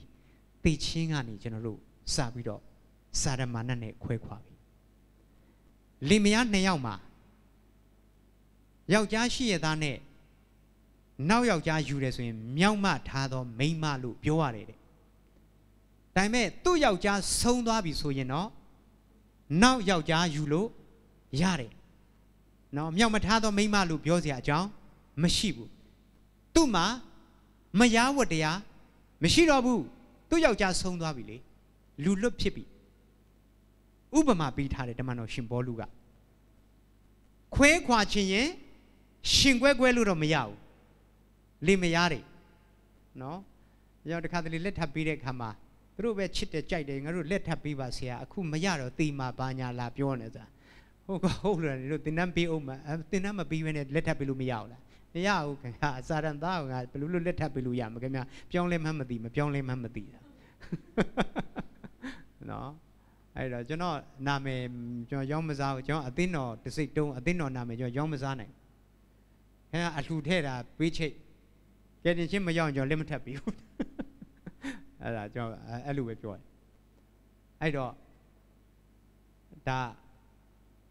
နောက်ကြတော့လင်းနဲ့မယားရှာနဲ့သွားတယောက်နဲ့တယောက်ကိုက်မိပြီးတော့ဒါတချို့တချို့နှက်ချီတွဲလောင်းနဲ့လာတယ်ငိုပြီးတော့ကျောင်းကွင်းမှာအခုချက်ချင်းအဲဆရာပြောထားတယ်မလားတဲ့အေး လက်ထပ်ပေးတဲ့သင်းအုပ်ဆရာမသိဘဲနဲ့ခင်ဗျားတို့ခွဲလို့မရဘူး။ခင်ဗျားတို့လက်ထပ်ပေးတဲ့သင်းအုပ်ဆရာခေါ်ပြီးမှအရင်ဆုံးညှိပြီးမှခွဲဆရာချင်းလည်းခွဲကြ။နော်အဲ့လိုမျိုးအရင်တုန်းကမှားထားတော့ကျမတို့ကွဲမယ်။နော်အခုချက်ချင်းခွဲပေး။နော်တကယ်ခွဲမှာလား။ခွဲမယ်။ဒါဆိုကျွန်တော်သဘောနဲ့လည်းမရဘူးခင်ဗျားတို့သဘောနဲ့လည်းမရဘူး။ကျွန်တော်ဘုရားသားသမီးတွေဖြစ်တဲ့အတွက်ကြောင့်ဂတိကဝတ်ဘုရားကိုပေးထားတဲ့အတွက်ကြောင့်ဘုရားရှိမှာ ပြုထားတဲ့သစ္စာနှုတ်ကပတ်တော်အတိုင်းခွဲလို့ရတယ်ဟုတ်ကဲ့ခွဲမယ်ကျမ်းစာကတယောက်တည်ရင်ခွဲလို့ရတယ်မတည်ရင်ခွဲလို့မရဘူးဘယ်သူတည်မလဲဆိုတာတယောက်နဲ့တယောက်ကြည့်ပြီးတော့လာပြန်ရအောင်ဒီဆရာအကျင့်မကောင်းဘူးတဲ့တည်ဖို့ကြတော့ကြောက်တယ်နော် မတည်ရင်ခွဲလို့မရအောင်တည်မှခွဲလို့ရအခုသခင်ယေရှုရဲ့ကိုယ်ခန္ဓာနဲ့တည်ပြီးစာရမဏတ်နဲ့ကျွန်တော်တို့တရားဝင်ခွဲခွာတယ်ဘုရားနာမပုံကြည့်ပါစေစာရန်ကအားအရှိနှိမ့်ဆက်နေရလေနော်ခိုးချင်းတက်ချင်းဖြက်စီးခြင်းကလာတိုက် စာရန်ရဲ့လက်ထဲမှာရှိနေသွေးကာလပတ်လုံးဝဲမြောက်ခြင်းတွေဆုံးရှုံးမယ်ပျော်ရွှင်ခြင်းတွေဆုံးရှုံးမယ်ကျမ်းမာရေးတွေဆုံးရှုံးမယ်နေ့တိုင်းခမ ्या ကိုအသက်လုံးပပအောင်ခွေးထညက်ခဲပေးကြွေးတယ်လို့မျိုးနော်အဲ့ဒါနေ့တိုင်းဒုက္ခရောက်လိမ့်မယ်အခုအဲ့ဒီဘဝကနေလွတ်ပြီးယေရှုရဲ့ကိုယ်ခန္ဓာနဲ့အတူတည်ပြီးအတူမြုပ်နှံတယ်လိုက်ဆိုမယ်တစ္ဆာစကားဟုမူကားထိုသခင်နဲ့အတူတည်လင်အ တူရှင်လိမ့်မယ်အာမင်သစ္စာစကားပြောမယ်တဲ့ယေရှုနဲ့အတူသေးတာမှန်ရင်ယေရှုသေခြင်းအောင်တဲ့အတွက်ကြောင့်သေခြင်းအောင်တဲ့အထဲမှာမင်းလဲပြန်ပါလာပြီအဲ့ဒါကိုဒုတိယအကြိမ်မွေးဖွားခြင်းလို့ခေါ်တယ်ခလေးလေးမွေးလာပြီမွေးလာရင်အိမ်ထောင်စုစရင်သွင်းရတယ်နော်အခုစာရမဏတ်နဲ့ကျွန်တော်ကြပြာလေးတစ်ပိုက်ရေးထားတယ် ဒီစာရန်နဲ့အတူရေးတာတော့မဟုတ်နော်ခုနကျွန်တော်စကားပြောရင်လောဘကြီးပြီးပြောတတ်တော့ပြီးခဲ့တဲ့ဟိုနိုင်ဝက်ကပြောတဲ့ဟာအခုမှလာဆက်တာတွေပါရှိတယ်နော် prophet ပြုနေတယ်လို့ပဲအဲ့တော့ဒီဂျူပင်ခုတ်ဂျူငုတ်ကိုသူမချန်လူမဆန်နှိပ်စက်အပီးချေမိသေးတဲ့ဤစီပွဲသင်ချိုင်းမှာနှွဲနော်အဲ့ဒါဒုတိယပိုက်ကတော့ စာမှုခမရမှာဆိုလို့မပြောတော့နော်ယေရှုနဲ့အတူသေပြီးအတူမြုပ်ပြီးအတူတူရှင်ပြန်ထမြောက်ပြီးဒုတိယမွေးဖွားလာပြီးအိမ်တော်သားအသက်မိသားစုအသက်မှောင်မိုက်ပျောက်လွင်၍မှန်သောအလင်းသည်ထွန်းတောက်လျက်ရှိ၏တယောနှစ်ရှိမှာဘုရားနာမှာပုံကြည့်ပါစေအဲ့တော့လူသစ်အပအမီဖရာသခင်နိုင်ငံကောင်းကင်နိုင်ငံအလုတ်အကင်ကောင်းမှု အသက်သာရအသက်ခိတ္တမလေးရှားအမြဲနေလိမ့်စာကောင်းကင်ဘုံအကုန်လုံးပြောင်းသွားပြီအာမင်အဲ့ဒါအဲ့လိုမွေးမှနော်အဲ့ဒါကြောင့်အခုမှောင်မိုက်တကုံးမှလဲငါတို့ကိုနှုတ်၍ချစ်တော်မူသောသားတော်ဤနိုင်ငံထဲသို့တွင်းတော်မူ၏ကိုလိုသဲ173ထဲမှာနိုင်ငံပြောင်းပလိုက်ပြီအေဖက်နှစ်9ထဲမှာယေရှုခရစ်အဖြစ်ငါတို့ကိုအသက်ရှင်စေတော်မူပြီတဲ့ အပိုက်ငယ်6မှာသူစရဲ့အပြစ်၌တည်လျက်ရှိနေသောငါတို့ကိုအသက်ရှင်စေတော်မူပြီကောင်းကင်အရက်မှာနေရာပေးပြီတဲ့ကျွန်တော်ရဲ့အသက်တွေအားလုံးကောင်းကင်နိုင်ငံမှာစည်ရင်ဝင်ပြီအိမ်ထောင်စုစည်ရင်ထဲမှာထဲ့တယ်ဆိုတာကာယကံရှင်ကမထဲ့ရအောင်မိဘကထဲ့ရတယ်ခလေးလေးမွေးလာရင်ဘယ်နှစ်ဘယ်ရက်ကသွားထဲ့လဲကိုမသိဘူးလေနော်ဒါပေမဲ့သိလာတဲ့အချိန်မှာကိုကအိမ်ထောင်စုထဲမှာဝင်ပြီးသားဖြစ်နေတယ်အဲ့ဘယ်သူလောက်တာမိဘထဲ့ထားတာ အခုလဲတမာတရားပို့ပြီးတော့နည်းနည်းစွာနားလေလာလေသိလာလေလေဝိညာဉ်ပကတိရဲ့နှစ်ဆိုင်မှုတွေပို့ပြီးတော့နားလေလေလေအယံဝဲမြောက်စရာကောင်းတယ်အာမင်အခုသခင်ယေရှုနဲ့အတူထမြောက်ပြီးကောင်းကင်မှာနေရာရပြီကောင်းကင်မှာနေရာပေးပြီနိုင်ငံကူးသွားပြီနိုင်ငံပြောင်းသွားပြီအဲ့ဒါကြောင့်အခုတရေနိုးထမေးလဲရတယ်မြန်မာပြည်ကနေမလေးရှားဘယ်လိုရောက်လာတယ်လဲဆိုတာ ဟုတ်နော်တချို့အပေါ်လန်းကနေလာပြီးတော့အောင်လန်းကနေလာပဲလို့သွားပြောတော့ဟိုမှာမနေကြက်ရတာခိတ်ဆိုနော်အဲ့ဆိုပြောင်းပြန်နေဖြစ်နေအောင်နော်တကယ်တကယ်အောင်လန်းနေလာရဆိုရင်တော့ဒါ easy going နော် easy ပြောလို့ရတယ်တဲ့တချို့စင်ကာပူဘက်ကနေလာတချို့ဒီလေစိတ်ကနေလာတော့အောင်လန်းကနေလာပါတယ်သွားပြောအတီပေါက်နေဆိုတာအဲ့ဒါကိုတကယ်မလာဘဲနဲ့လာတယ်သွားပြောတယ်ကြက်နေနှစ်မျက်နှာသုံးမျက်နှာဆိုတာ နော်ပွဲစားငပြောတိကျွေးပါတယ်လမ်းမှာပါညာကွေးပါရေးလည်းမတိုက်ပါဘူးပေါ်ကုန်ပြီနော်အကုန်လုံးရည်ကြတယ်ဆိုသဘောပေါက်ပါတယ်ဆရာနော်ဆိုတော့ပဲချိန်မဲ့မေးမေးတကယ်အောင်လန်းအနေလန်ပြောလို့မရဘူးလားရတယ်လေအခုကျွန်တော်တို့စာဒနိုင်ငံထဲကနေထွက်လာပြီးဖယားသခင်ရဲ့နိုင်ငံထဲမှာဘလို့ဝင်သွားတယ်လဲဆိုတဲ့အကြောင်းတရေနိုးထမေးလဲပြောနိုင်ရမယ် ပါဆိုတော့တကယ်ထွက်လာတယ်ဆိုရင်လေဘလို့ထွက်လာတာလဲဆိုတော့ယေရှုရဲ့ကိုယ်ခန္ဓာနဲ့အတူတည်ပြီးအတူမြုပ်ပြီးအတူတူရှင်ပြန်ထမြောက်ပြီးထွက်လာတာကောင်းကင်နိုင်ငံထဲမှာပြောင်းလာတာကျွန်တော်အဖေဆိုရင်တမန်ကျမ်းစာထဲမှာကယ်တင်ချင်းရောက်တယ်ဆိုတဲ့စကားလုံးအမြဲတမ်းသုံးတာပေါ့လေနော်ကျွန်တော်အဖေကြတော့ကယ်တင်ချင်းတို့ပြောင်းသည်နေတယ်သူကနိုင်ငံပြောင်းသွားပြီ နော်ကျွန်တော်အဖေအာကျွန်တော်မိသားစုကြီးစွာအကြောင်းအကုန်လုံးအာဒုတိယမွေးချင်းခံကြတယ်ဟာလေလုယာအဲကျွန်တော်ခင်ဗျားတို့မိသားစုဘယ်နှယောက်ကြံသေးလဲတခြားလူကိုခေါ်လို့မရရင်လည်းနော်အေးလို့ကိုမိသားစုတော့စုံအောင်ခေါ်ပါအာမင်နော်အဲ့ဒါနော်အေးမိသားစုလူစုံနေနော်တခြားလူနှစ်ပေါင်း100ထပ်ဟောတယ်နှစ်ပေါင်း100မှာဟောခင်နှစ်ပေါင်း900ပတ်ဝန်းကျင်ဘုရားသခင်ကကြိုတင်မိနမိတ်ပေးပြီးသား အေးနောက်ဘုရားသခင်ရဲ့လူဘုရားသခင်နဲ့အတူသွားလာတယ်နှစ်ပေါင်း300လုံးလုံးသူသားမွေးပြီးနာမည်ပေးတယ်မသူရှလမသူရှလရဲ့အတိတ်ဘယ်ကထိုသူသွားတဲ့နောက်မှာထိုအရာကြီးလိုက်လာလိမ့်မယ်ဆိုတဲ့အတိတ်ပဲဆိုလို့ချင်တာမသူရှလရဲ့အတိတ်ပဲဘာလဲမသူရှလထိုသူဆိုမသူရှလကိုပြောတာမသူရှလဆုံးပြီးတာနဲ့ထိုအရာကြီးတီဟူသောရည်လွှမ်းမိုးခြင်းလာလိမ့်မယ်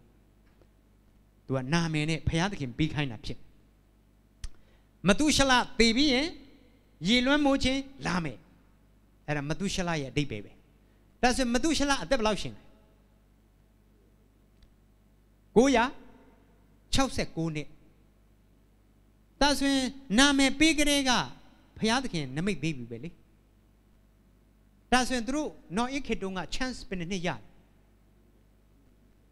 မသူရှလရဲ့အသက်နဲ့နော်အိတရားဟောတဲ့အချိန်နဲ့ပြန်ပေါင်းနှစ်ပေါင်းတစ်ထောင်ဝန်းကျင် ဘုရားသခင်ကစိတ်ရှည်ပြီးစောင့်နေတယ်ဘုရားသခင်ကအခုအပြစ်ရှိအခုရိုက်အဲ့လိုမျိုးမဟုတ်နော်ဒုတိယအခွင့်အရေးအမြဲတမ်းပေးတယ်ခါနန်လူမျိုးတွေကိုနှစ်ပေါင်း400လုံးလုံးအခွင့်အရေးပေးတယ်ဖះဖက်ကိုလှည့်မလားတချို့က complaint တက်တယ်ပေါ့ခင်ဗျားဖះတကယ်မတရားဘူးတဲ့လူများမြို့ရွာလူများနိုင်ငံကိုအတင်းအဓမ္မဝင်သိမ်းပြီးလူတွေကိုပါရှင်းပစ်တယ်ခါနန်ပြည်မှာအစတုန်းက အာနေခံနေရှိတယ်လေအကုန်လုံးမောင်းထုတ်ပစ်တာတဲ့ပြီးတော့ကျူးတွေကိုနေရာပေးတယ်ဆိုရင်အဖះမတရားတာလုပ်တယ်ဆိုတာဟုတ်ဘူးဒီမြေမှာနေပြီးဒီရေကိုတောက်ပြီးဒီဒီမြေပေးတဲ့ဒီသားသမီးတွေကိုလေပင်းလှီးပြီးမိရှုပ်ပြီးနတ်ကိုပူဇော်တဲ့ယဉ်ကျေးမှုဘုရားသခင်လုံးဝမကြိုက်တယောက်နဲ့တယောက်ဖြူစားတယ်ဇုံမွေးတယ်နတ်စိမ့်မွေးတယ်အဲ့လိုအကျင့်စာရိတ္တတွေရှိတဲ့အတွက်ကြောင့် သူတို့နေတဲ့မြေကြီးကသူတို့ကိုအံတယ်တဲ့လူဆိုတာအစာမကျင်ရင်အံတတ်တယ်လေဒီမြေကြီးကဒီလူတွေကိုအစာမကြည့်တာကြာပြီသူတို့နေတဲ့မြေကြီးကသူတို့ကိုအံချတယ်အဲ့ဒါကြောင့်အာဗြဟံကိုကပ္ပဦးကျမ်း14ထဲမှာပြောတော့ကမင်းရဲ့ဆွေမျိုးတွေလူမျိုး40တိုင်အောင်တိုင်းဓမ္မမှာကြုံခံရလိမ့်မယ်လူမျိုး40ပြည့်တာနဲ့ငါပြန်လာခေါ်မယ်ဘာကြောင့်လဲ အာမောရိလူမျိုးတွေရဲ့အပြစ်တီမစုံလင်သေးဘာကြောင့်နေခံနေအာမောရိလူမျိုးတွေနေတယ်ခါနန်ထဲမှာခုနဆိုးရုပ်တဲ့ယဉ်ကျေးမှုတွေရှိတယ်နှစ်ပေါင်း400ကြုံခံနေတဲ့အချိန်ဟာအာမောရိလူမျိုးနှစ်ပေါင်း400နောင်တရချိန်ပြီးတယ်ဖယားသခင်ဘယ်တော့မှမတရားမလုပ်ဘူးအမြဲတမ်း chance ပေးပြီးမှ chance ထဲမှာမှရောက်မလာဘူးဆိုရင်တော့တရားသူကြီးက တရားစီရင်တယ်ဘုရားသခင်တရားသူကြီးဖြစ်တာဟေရှာယ33အပိုင်း20မှာထာဝရဘုရားသည်ငါတို့၏တရားသူကြီးဖြစ်တယ်ဒါဟေရှာယတခန်းလုံးလဲအဲ့ဒါပဲဟေရှာယရဲ့အတိတ်ဘယ်ကဦးက God is my judge ဘုရားသခင်ငါရဲ့တရားသူကြီးဖြစ်တယ်ဆိုတဲ့အတိတ်ပဲဖြစ်တယ်ဟေရှာယနော်ကဲဒါဆိုရင်ခုနကောင်းကင်နိုင်ငံကိုကျွန်တော်ဘယ်လိုပြောင်းလာလဲအာဒံပထမအာဒံစီကနေဒုတိယနောက်ဆုံးအာဒံစီကိုဘယ်လိုပြောင်းလာလဲ အတူတည်ပြီးအတူမြုပ်ပြီးအတူတူရှင်ပြန်ထမြောက်ပြီးပြောင်းလာတယ်အဲ့လိုပြောင်းလာတဲ့အကြောင်းကိုဩရပစိတ်ထဲမှာရှင်းလင်းပြီးသိသွားပြီးတဲ့နောက်မှာခုနငါဒီလိုမျိုးနိုင်ငံပြောင်းလာပါတယ်ဆိုတဲ့အကြောင်းကိုရေထဲမှာပုံစံသွားပြတာရေနှစ်ချင်းခံတယ်ဆိုတာယေရှုနဲ့အတူသိပြီဆိုတာသိရမယ်ဒီလူယေရှုမြုပ်တော့ကမင်းပဲမှာလေယေရှုနဲ့အတူမြုပ်ပြီဒါဆိုရင်လား ယေရှုနဲ့အတူမင်းမြုပ်ပြီဖြစ်တဲ့အတွက်ကြောင့်တမန်ကျမ်းစာကလမ်းညွှန်ထားတဲ့အတိုင်းယေရှုနဲ့အတူမြုပ်ပြီဒီထဲမှာနှစ်ပြီယေရှုမထမြောက်ဘူးဆိုရင်တော့အဲ့မှာရေဝတောက်ပြီးတော့နေခဲ့တော့နော်ဒါပေမဲ့အခုယေရှုသခင်ရှုထမြောက်လားထမြောက်တဲ့အတွက်ကြောင့်ရေထဲကနေပြန်ဆွဲထုတ်တာရေနှစ်ချင်းခံချင်းရဲ့အတိတ်ပဲ အတူသေးပြီးအတူမြုပ်အတူထမြောက်ပြီးဆိုတဲ့အကြောင်းနားမလည်ဘူးခရိယံဖြစ်လို့နှစ်ချင်းခံတယ် sorry ပဲအဲမရဘူးဆိုတဲ့တခြင်းကတော့နာမည်ခေါ်သောအခါရှိလိမ့်မည်ထိုးရမှာအဲကုံယူပြီးချီးမွမ်းနေတာခွဲရတွေပါထဆိုတယ်သူ့နာမည်ခေါ်တဲ့အခြင်းငရဲသွားမယ်ဆိုရင်တဲမှာပဲပါတယ်ဒါစိတ်မကောင်းစရာနော်အခု နာနာမည်စရင်ပါတယ်ဆိုရင်နောက်တမလွန်ဘဝမှာသေချာမှာပေါ့မဟုတ်ဘူးအခုကလေးကသေချာမှာအခုကလေးကရှင်းရမှာနော်ဟောတပတ်စိတ်ကြည်စွာနဲ့နားလေရမယ်အဲ့ဒါသိပြီးမှခုနအတိတတ်ပြီးတော့မြေမှာဆက်ဆက်မြုပ်ရမယ်လို့ပြောတဲ့အတွက်ကြောင့်ယင်းနှစ်ချင်းခံချင်းသည်အလောင်းကိုမြုပ်တာအတုပတကြိုတာနော်အဲ့ဒါကြောင့်ကယ်တင်ချင်းသဘောပေါက်ရသားနဲ့ ယေရှုနဲ့အတူပါသွားပြီဆိုတာသိရသားနဲ့ယင်းနှစ်ချင်းမခံတော်သူဟာအလောင်းမမြုပ်တော်သူနဲ့တူတယ်အလောင်းမမြုပ်ရင်ဘာဖြစ်လဲပုတ်တယ်လေဘုရားသားသမီးပါပြောပေမဲ့သူ့ရဲ့အသက်တာပုတ်နေတာတန်ရှင်းမှုမရှိဘူးသူအဖြစ်လည်းဘယ်သူမှပြောင်းလဲမှာမဟုတ်တက်တေခံရင်လဲအာရပါရတက်တေခံရင်တော့ယင်းနှစ်ချင်းခံတဲ့အကြောင်းရောက်လာရင်အဲ့တမာတရားကို तू ရှော့ပလိုက်လိမ့်မယ် တမာတရားကို तू ပြောတော့မှာမဟုတ်ဘာလို့လဲ तू ကိုယ်တိုင်မလုပ်တာဘာလို့လဲဆိုရှက်တယ်လေဘာလို့ရှက်တာဆရာကျွန်တော်ယင်းနှစ်ချင်းခံပြီးပြီလေတဲ့ဘယ်တော့မှခံတယ်ကြာပြီလေတဲ့ပြောပါအောင်ဘာဖြစ်လို့နှစ်ချင်းခံရတယ်ကြာပြီလေဘယ်မှတ်မိမလဲ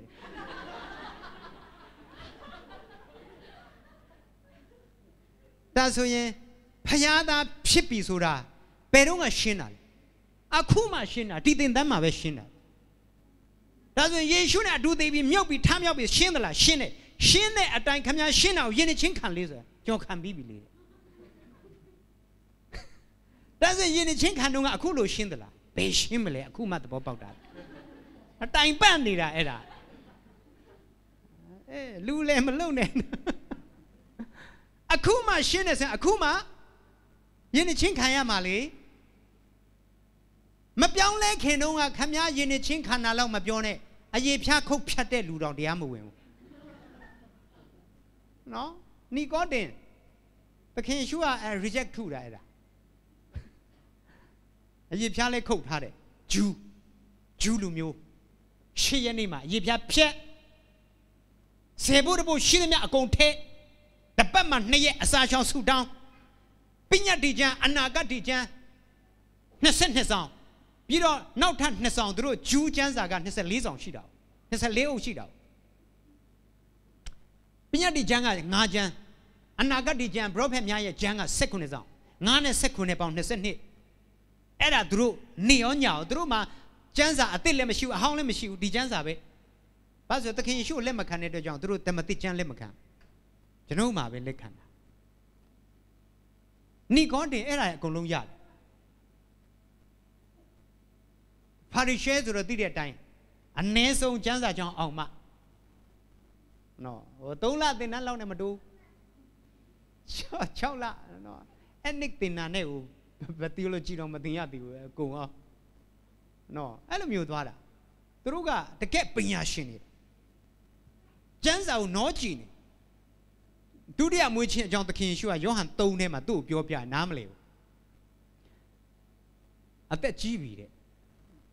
အမိပိုက်ထဲမှာဝင်ပြီးတော့နောက်တစ်ခေါက်ထပ်မွေးရမှာလားသူကအစိမ့်လိုက်တွေးတာအဲ့တော့နားမလဲတော့နားဝေးတယ်အဆူခံရတယ်နေ့ဣသရေလအမျိုးထဲမှာဓမ္မဆရာဖြစ်ပြီးတော့ဒါတော့မသိဘူးလားနော်အဲ့တော့သူနားလေတဲ့ကြံဟောင်းနေပဲသခင်ယေရှုကဣဝင်ဂတိပြန်ဝင်ဟာတယ် ဒုတိယမွေးခြင်းနားမလဲဘူးဆိုတော့မောရှေသိစံမောရှေသူသိတယ်အကုန်သိတယ်ဘယ်ကနေစပြောမလဲနော်ဟိုအာသူချင်းတောင်တဲ့ထဲ့ပြီးပိတ်တဲ့အချိန်ကနေနော်တောင်ပေါ်တက်ပြီးဆုံးတဲ့အထိဘယ်နေရာပြောမလဲမောရှေနဲ့ပတ်သက်ရင်အကုန်လုံးရတယ်သူတို့မောရှေသိစံတော၌ဟုတ်ပြီသဘောပေါက်ပြီတော၌နန်းတော်မှာမဟုတ်တော့ဘူးအခုတောထဲမှာရောက်သွားပြီ မွေကိုမြောက်ထားတဲ့ကဲ့သို့အဲ့မွေသိတယ်နာမည်ကနဟုတ်တန်အကုန်လုံး तू ကသိတယ်မောရှေအကြောင်းသိတယ်မောရှေကမွေကိုမြောက်ထားတဲ့အခါမှာမွေစိတ်မိနေတဲ့လူတွေအားလုံးမွေရုပ်ကိုကြည့်ရင်အစိတ်ပြေပြီးအသက်ရှင်ခွင့်ရတယ်အဲ့ဒါဟုတ်တယ်လေ तू သိတယ်လေ तू နားလေအဲ့တော့ဘာဖြစ်လဲအဲ့လိုပဲတဲ့ငါကိုတစ်တိုင်မှာမြောက်ထားကြလိမ့်မယ်အဖြစ်ရှိတဲ့သူတိုင်းငါကိုယုံကြည်ရင်အ ဖြစ်ခွင့်လွှတ်ခြင်းခံရမယ်အဲ့ချိန်မှာပဲနီကောတင်ပွန့်ထွက်တာဩသူကျမ်းစာကိုအစိမ့်လိုက်ွားတယ်အကုန်လုံးရထားတယ်ဒါပေမဲ့အဲ့ဒီမွေရုပ်ဟာသခင်ယေရှုကိုပြောတာပါလားဆိုတာ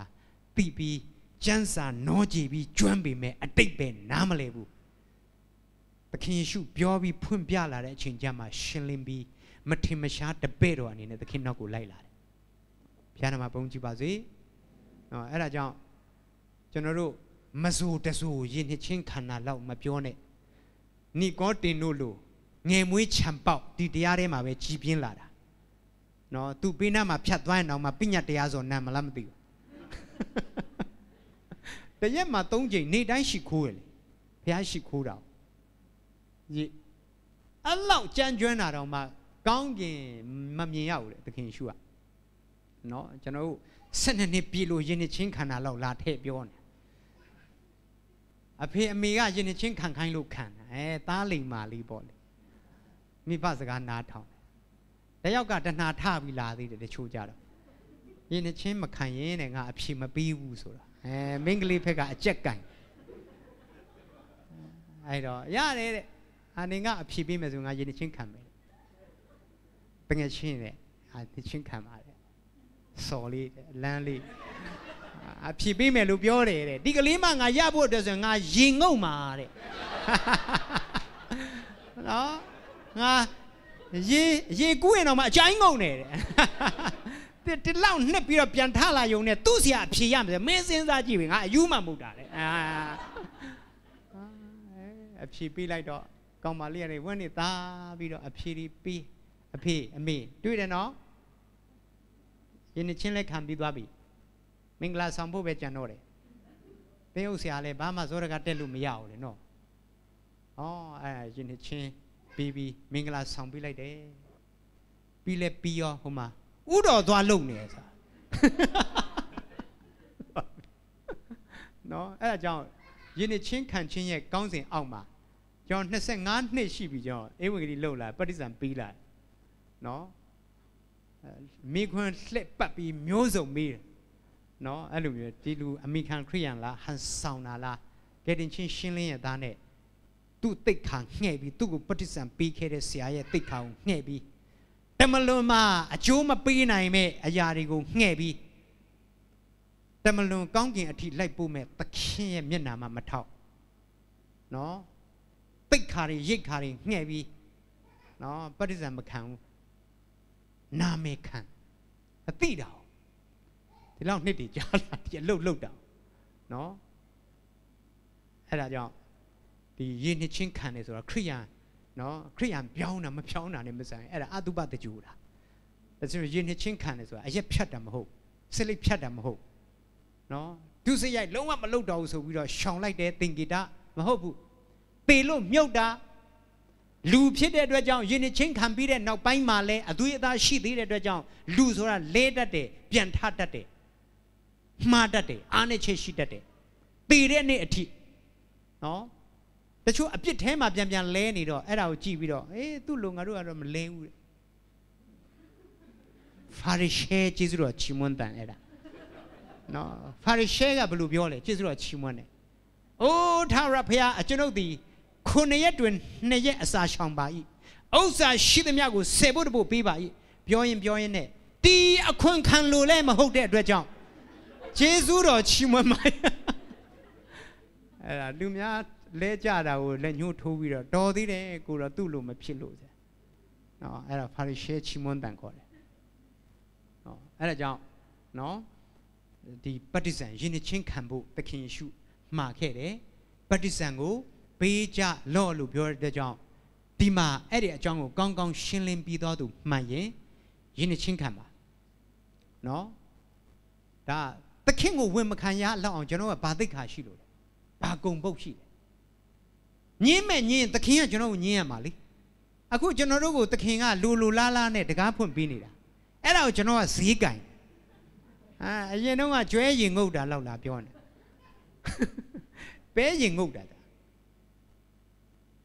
အရင်တော့မပြောင်းလဲခင်ဒုတိယမွေးချင်းမခံခင်တော့ကယဉ်နေချင်းခံထားတာကိုပဲအဲ့ဒါကိုပဲအတိမတ်ပြန်ပြုတ်မယ်ဆိုရင်ပြောင်းပြန်နေဖြစ်နေပေါင်းပြီးရှေဝက်ပြီးတော့အတွင်းခံကြတော့အပြင်မှာဝက်တယ်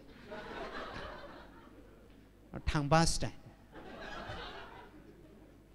နော်အဲ့လိုမျိုးမလို့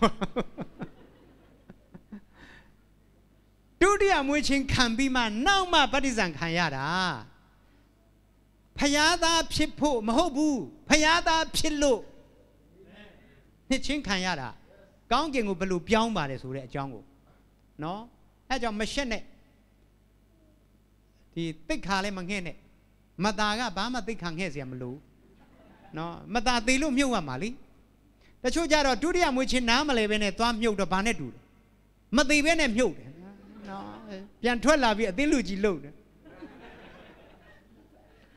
ပါစတာလုံတယ်ယင်းချင်းလဲခံပြီးပြီဆိုတော့ထုံတန်းစင်လာအတိုင်းနော်မိမနိုင်ဖမနိုင်ကြောင်းကိုပို့ကျန်းစာကြောင်းတက်လေးနှစ်တက်ကျန်းစာကြောင်းဆိုတာလိမ္မာတာမလိမ္မာတာအပထားပေးထားတဲ့မိခွန်းနဲ့အကုန်လုံးဖြည်နိုင်အောင်တယ်လေအောင်ရင်ပွက်ပြီးတယ်လေနော်ဒုတိယမွေးချင်းမခန္ဓာခန္ဓာအပထားမိခွန်းနဲ့အကုန်လုံးဖြည်နိုင်အောင်တာသူအကြောင်းလေအဲကြောင့် သိဥစ္စာလုပ်ပြီးမှပြောင်းလဲလို့ဖြစ်ချင်းပြန်ပေးရတာတွေရှိတယ်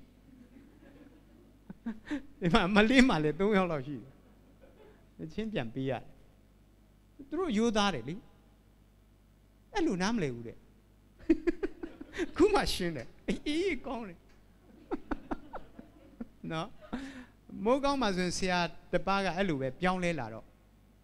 အေး ခမည်းပဲလူများကိုပဋိစ္စံပေးခဲ့တယ်ဆိုတော့အခုခမည်းယဉ်နေချင်းပြန်ခံမယ်ဆိုတော့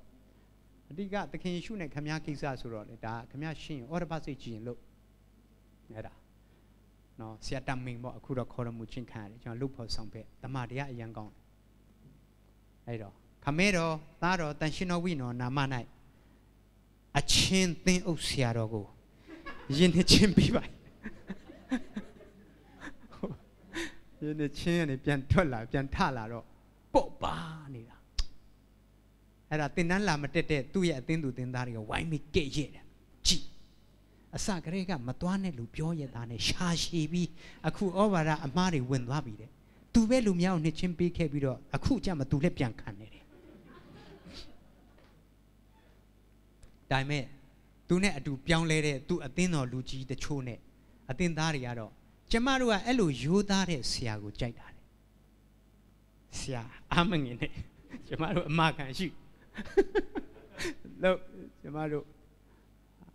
ဒီပံ့ပိုးမယ်ဆိုတာအတိုင်းထက်အလွန်ဘုရားသခင်ချီးမြှောက်ပြီးကောင်းချီးပေးတယ်အာမင်ဆိုတော့အဲကြောင့်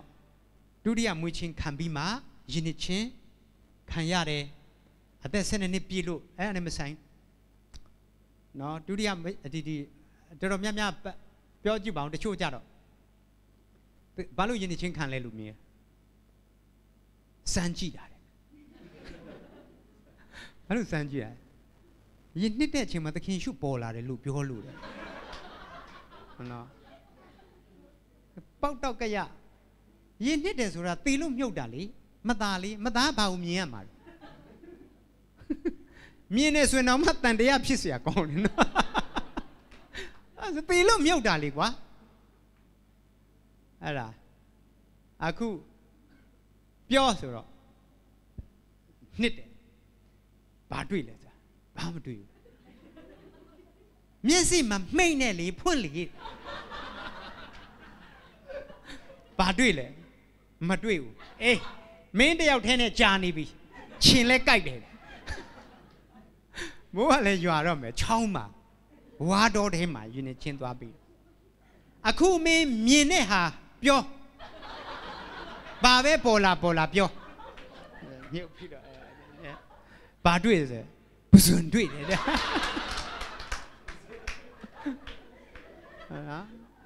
တော့တော့ခဲ့ပဇွန်ပေါ်တာကိုအဲ့ချောင်းမှာမဟုတ်ကဟုတ်ကတွေ အဲ့တော့နော်ယင်းချင်းခံချင်းသည်တစုံတစ်ခုကိုမြင်ခြင်းနဲ့စိတ်တကိုးမြင်ခြင်းနဲ့စိတ်အဲ့ဒါကြီးနဲ့လည်းမဆိုင်ပေလို့မြုပ်တာလူဟောင်းတကြိုတာဖြစ်တယ်စာရန်သားကြီးကိုမြုပ်ဖြစ်တာကျွန်တော်တို့ထဲမဟုတ်ပါဘူးကျွန်တော်နှစ်ချင်းခန္ဓာကတက်တည်เนาะအဲ့ဒါလေးသတိထားရအောင်အီဂျစ်ပြည်ကနေထွက်လာပြီးအေဒုံပင်လယ်ကိုကူးပြီးဟိုဘက်ကန်းကိုတက်သွားတာကအရိတ် အကောင်အထက်ပေါ်လာပြီးအစ်စ်ယေရှုနဲ့အတူသေပြီးစာရန်နိုင်ငံထဲကနေထွက်လာပြီးအတူမြုပ်ပြီးအတူတူရှင်ပြန်ထမြောက်ပြီးအဲ့ဒါကအစ်စ်အခုအဲ့ဒီအကြောင်းကိုနားလည်လာပြီးတော့ယဉ်နှစ်ချင်းမင်္ဂလာခံယူတာကတက်ပြီအရေးရဲ့အရေးအကြောင်းသိချင်ရင်ဘယ်နားမှာရှိမလဲမောရှေတို့အာရုံတို့လူပေါင်းဘယ်လောက်လဲသိန်း30လောက်ရှိတယ် ကျွန်တော်တို့ကတခါတလေတယောက်တလေပဲသွားပြီးတော့နှစ်ချင်းခံဣသရေလလူမျိုးတွေကသိန်း30လောက်တခါတည်းနှစ်ချင်းခံပင်လေကူးတဲ့အချိန်ကိုနှစ်ချင်းခံသောအချိန်လို့သတ်မှတ်ပြီးတယ်ဗတ္တိစံနော်ဒါတစ်ကောအခန်းကြီး30အပိုင်းငယ်1နဲ့2မှာမိုးတိမ်နဲ့ပင်လေအလယ်၌ရှောက်သွားကြသည်ဟူ၍၎င်းမောရှိ၌ပฏิစံကိုခံကြသည်ဟူ၍၎င်းကျမ်းစာကအဲ့လိုမျိုးပြောတဲ့အတွက်ကြောင့် ပฏิစံနော်ယေရှုနဲ့အတူသေးပြီးမြုပ်ပြီးထမြောက်ပြီးဆိုတဲ့ရှေ့ပြေး prophet ပြုချက်အရေးအခုလက်ဝါးကတိုင်မှာအစစ်အဲ့ဒီအကြောင်းနားလည်လာပြီးယဉ်ချင်းခံတယ်အဲ့ဒါကတက်သိ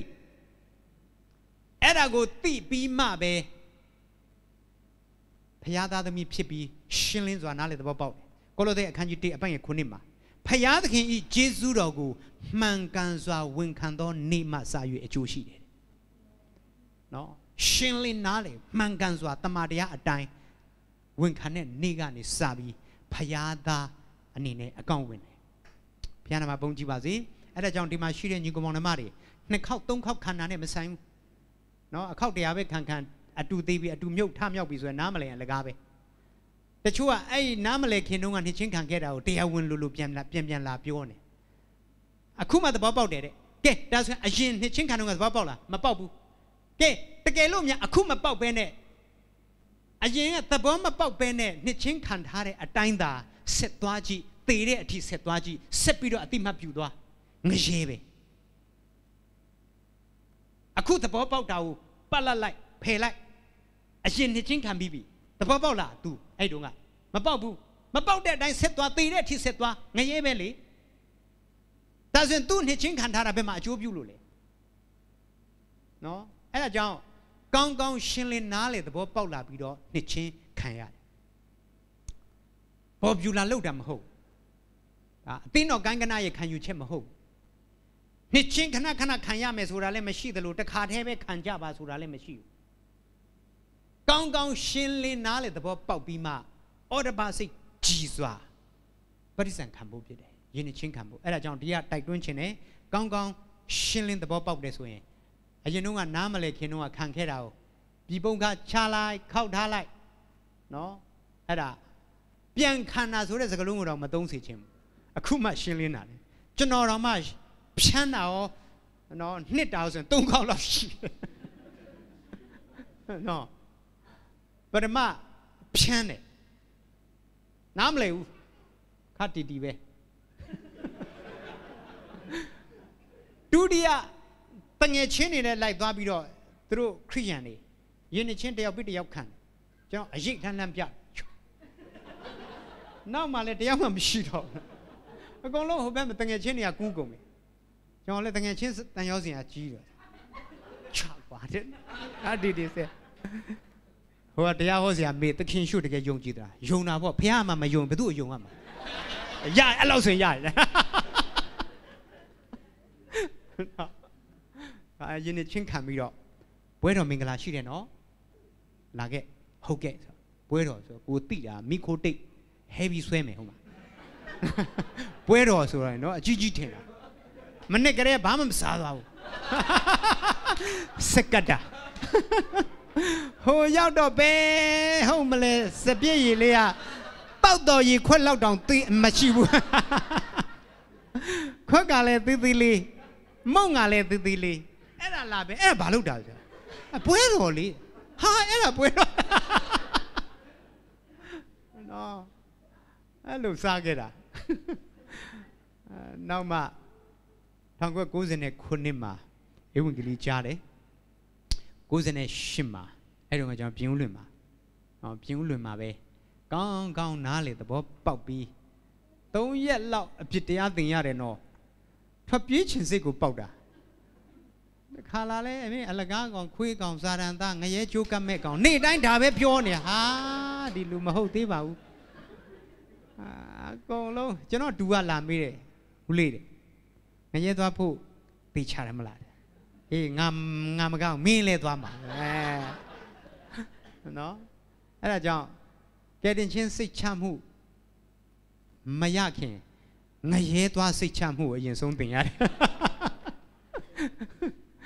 လုံးဝငရဲသွားမယ်ဆိုတာကောင်းကောင်းစိတ်ချပြီဆိုမှယေရှုတရားကိုမျက်နှိုးတတ်တာတန်ဖိုးထားတတ်တာနော်ထွက်ပေါက်မရှိတော့ဘူးလို့ငရဲသွားကိုသွားရတော့မယ်ဆိုတာတိကျသိချာစွာနားလေသဘောပေါက်ပြီးမှယေရှုတရားစပြီးဝင်ရောက်လာတာအာအယံဝဲမြောက်တာပဲအယံပေါ့ပါတယ်အဲ့ဒီနေ့ကျွန်တော်ကယ်တင်ခြင်းသဘောပေါက်တဲ့နေ့မှာတခါတည်းနော်ကျွန်တော်ရှေ့ဆုံးမှာမတ်တရက်ဒန်းစီတာ ယင်းချင်းခံဖို့လူဟောင်းတကြူတာအဲ့ဒီနေ့မှာတချင်းတပုတ်ကိုမရရအောင်ဆက်တယ်ညမှာတခါတည်းချီးမွမ်းနော်အဲ့လိုမျိုးစပြီးတော့ theology ဒီဘာမှနားမလည်ဘူးကျမ်းစာလည်းမသိဘူးကိုကအဲ့ဒီကနေပဲကျွန်တော်စပြီးတော့ဧဝံဂေလိထွက်တယ်စကားအပေါက်လမ်းမတည့်ဘူးအခုထိလည်းအဲ့လိုပါပဲကျွန်တော်ဟောတတ်ပြောတတ်လို့မဟုတ် အဲမရှိသုံးသုံးတာလားတော့မသိဘူးသူတို့ခေါ်တော့လေသွားရတာနော်လိမ်ဖဲလိမ်ဖဲနဲ့အသုံးခံနေရတယ်အဲ့ဒါငပြောတော်ထဲမှာသွားပြီးတော့ငပြောတုံးကိုဧဝံဂေလိဝင်ဟာလေ့ကျင့်တာနော်အဲ့လိုမျိုးစလာပြီးတော့ကျွန်တော်ကျမ်းစာကြောင်းတက်တာတော့သင်းအုပ်ဆရာဖြစ်ပြီးမှပဲတက်တာဘာဆိုတော့ စီနီယာလိုက်ကျွန်တော်အသင်းတော်စီကံကြီးတော့စပင်စပင်လဲတူတူညှက်ရတယ်ယောက်ျားလေးတွေဖះเจ้าတက်ရင်ဒီကောလန်ကဒုံအတီတီအဟုတ်စား stick collar ဆိုတော့တစ်မျိုးပေါ့ collar အရှိပဲဝတ်ရဒီလိုအလေပြတ်တွေမဝတ်ရနော်မင်းကလေးတွေတောင်မှတနခါလင်းနေဆိုရင်တောင်မှဟိုကလက်မခံလော်ကီဆန်အဲ့လောက်ထိပြောတာ အကုန်လုံးနေ့တိုင်းခွိုက်ထမ်းပြေးရတယ်နေ့တိုင်းခွိုက်ထမ်းစစ်တယ်နေ့တိုင်းကြမ်းချက်အလွတ်ပြန်ရတယ်အဲ့လိုပုံသွင်းလာတော့တစ်နှစ်ကိုအနည်းဆုံးကျန်းစာတစ်ခေါက်ပြီးတယ်အမှုတော်ဆောင်လာပြီးတဲ့နောက်မှာတစ်နှစ်ကိုအနည်းဆုံးကျန်းစာ၃လေးခေါက်ပြီးလာအဲ့လိုနီးနဲ့ဖြစ်ဖြစ်ချင်းပုံသွင်းပြီးနောက်မှကျန်းစာကြောင်ပြန်ပြီးတော့တက်ရတယ်နော်တဆင်ပြီးတဆင်အဲဖျားရှင်ပို့ဆောင် တယ်နော်ဖျားနာမှာပုံကြည့်ပါစေအဲ့ဒါကြောင့်ဒီနေ့ဒီမှာတိုက်တွန်းခြင်းနဲ့ဒုတိယမွေးချင်းကောင်းကောင်းရှင်းလင်းပြီဆိုရင်ယနေ့ချင်းခံမှာအချိန်မဆိုင်နဲ့ဒီပင်လေငါထွက်လာပြီးပြီငါလွတ်မြောက်ပြီးပြီလို့ဘယ်တော့ပဲပြောပြောခါနန်မှာလည်းမတွေ့ရဘူးကန္နာရအထဲမှာလည်းမတွေ့ရဘူးဆိုရင်အဲ့ဒါအီဂျစ်မှာကြံခဲ့တာပဲနော်အဲ့ဒါဝိညာဉ်စကားဖြစ်တယ်အဲ့ဒါကြောင့် ဒုတိယမွေးချင်းမရှက်မကြောက်ပဲရှက်စရာအကြောင်းကိုမရှိဘူးเนาะဒါရှင်လုကာအခန်းကြီး9အပိုင်ငယ်26ထဲမှာအကျဉ်သူသည်ငါဟောပြောဤစကားငါစကားကိုရှက်ဤထိုသူငါရှက်မယ်ငါကိုရှက်ရင်ငါပြန်ရှက်မယ်ငါစကားကိုရှက်ရင်ငါပြန်ရှက်မယ်မာသဲအခန်းကြီး30အပိုင်ငယ်32 33မှာငါကိုညင်းပယ်ရင်ငါလည်းညင်းပယ်မယ်เนาะအဲ့ဒါကြောင့်ကုံယူစွာ ပဋိဇံခံပါလူဟောင်းကိုတကြိုပစ်ပါအကြာချင်းမထားနဲ့ပုတ်စော်နံလိမ့်မယ်ဘယ်သူမှလည်းပြောင်းလဲမှာမဟုတ်အပုတ်ကောင်ကိုဘယ်သူမှချောတယ်လှတယ်မပြောနော်အဲကြောင့်အဲ့လိုမျိုးနားလေသဘောပေါက်လာပြီးမှဒါပဋိဇံမင်္ဂလာပြီးတော့မှဗာဆက်သွားလဲဘွဲတော်မင်္ဂလာဆက်သွားတယ်နော်ဘွဲတော်မင်္ဂလာဘုရားသားသမီးဖြစ်ပြီးမှဘွဲတော်သုံးရတယ်အသွေးအသွေးဘယ်ရရမလဲ အသက်တတ်မှတ်ရမှာပေါ့ဒါဆိုရင်အသွေးပြလာပြီဆိုတော့အသက်တည်တယ်ပေါ့အဲ့ဒါကြောင့်အပြစ်နဲ့ကင်းစင်တော့ခုန flyer ထဲမှာကျွန်တော်တွေ့တယ်တစ်ပေတစ်ဆက်ရှင်နော်ပါတွေ့ရတယ်အဲ့မှာ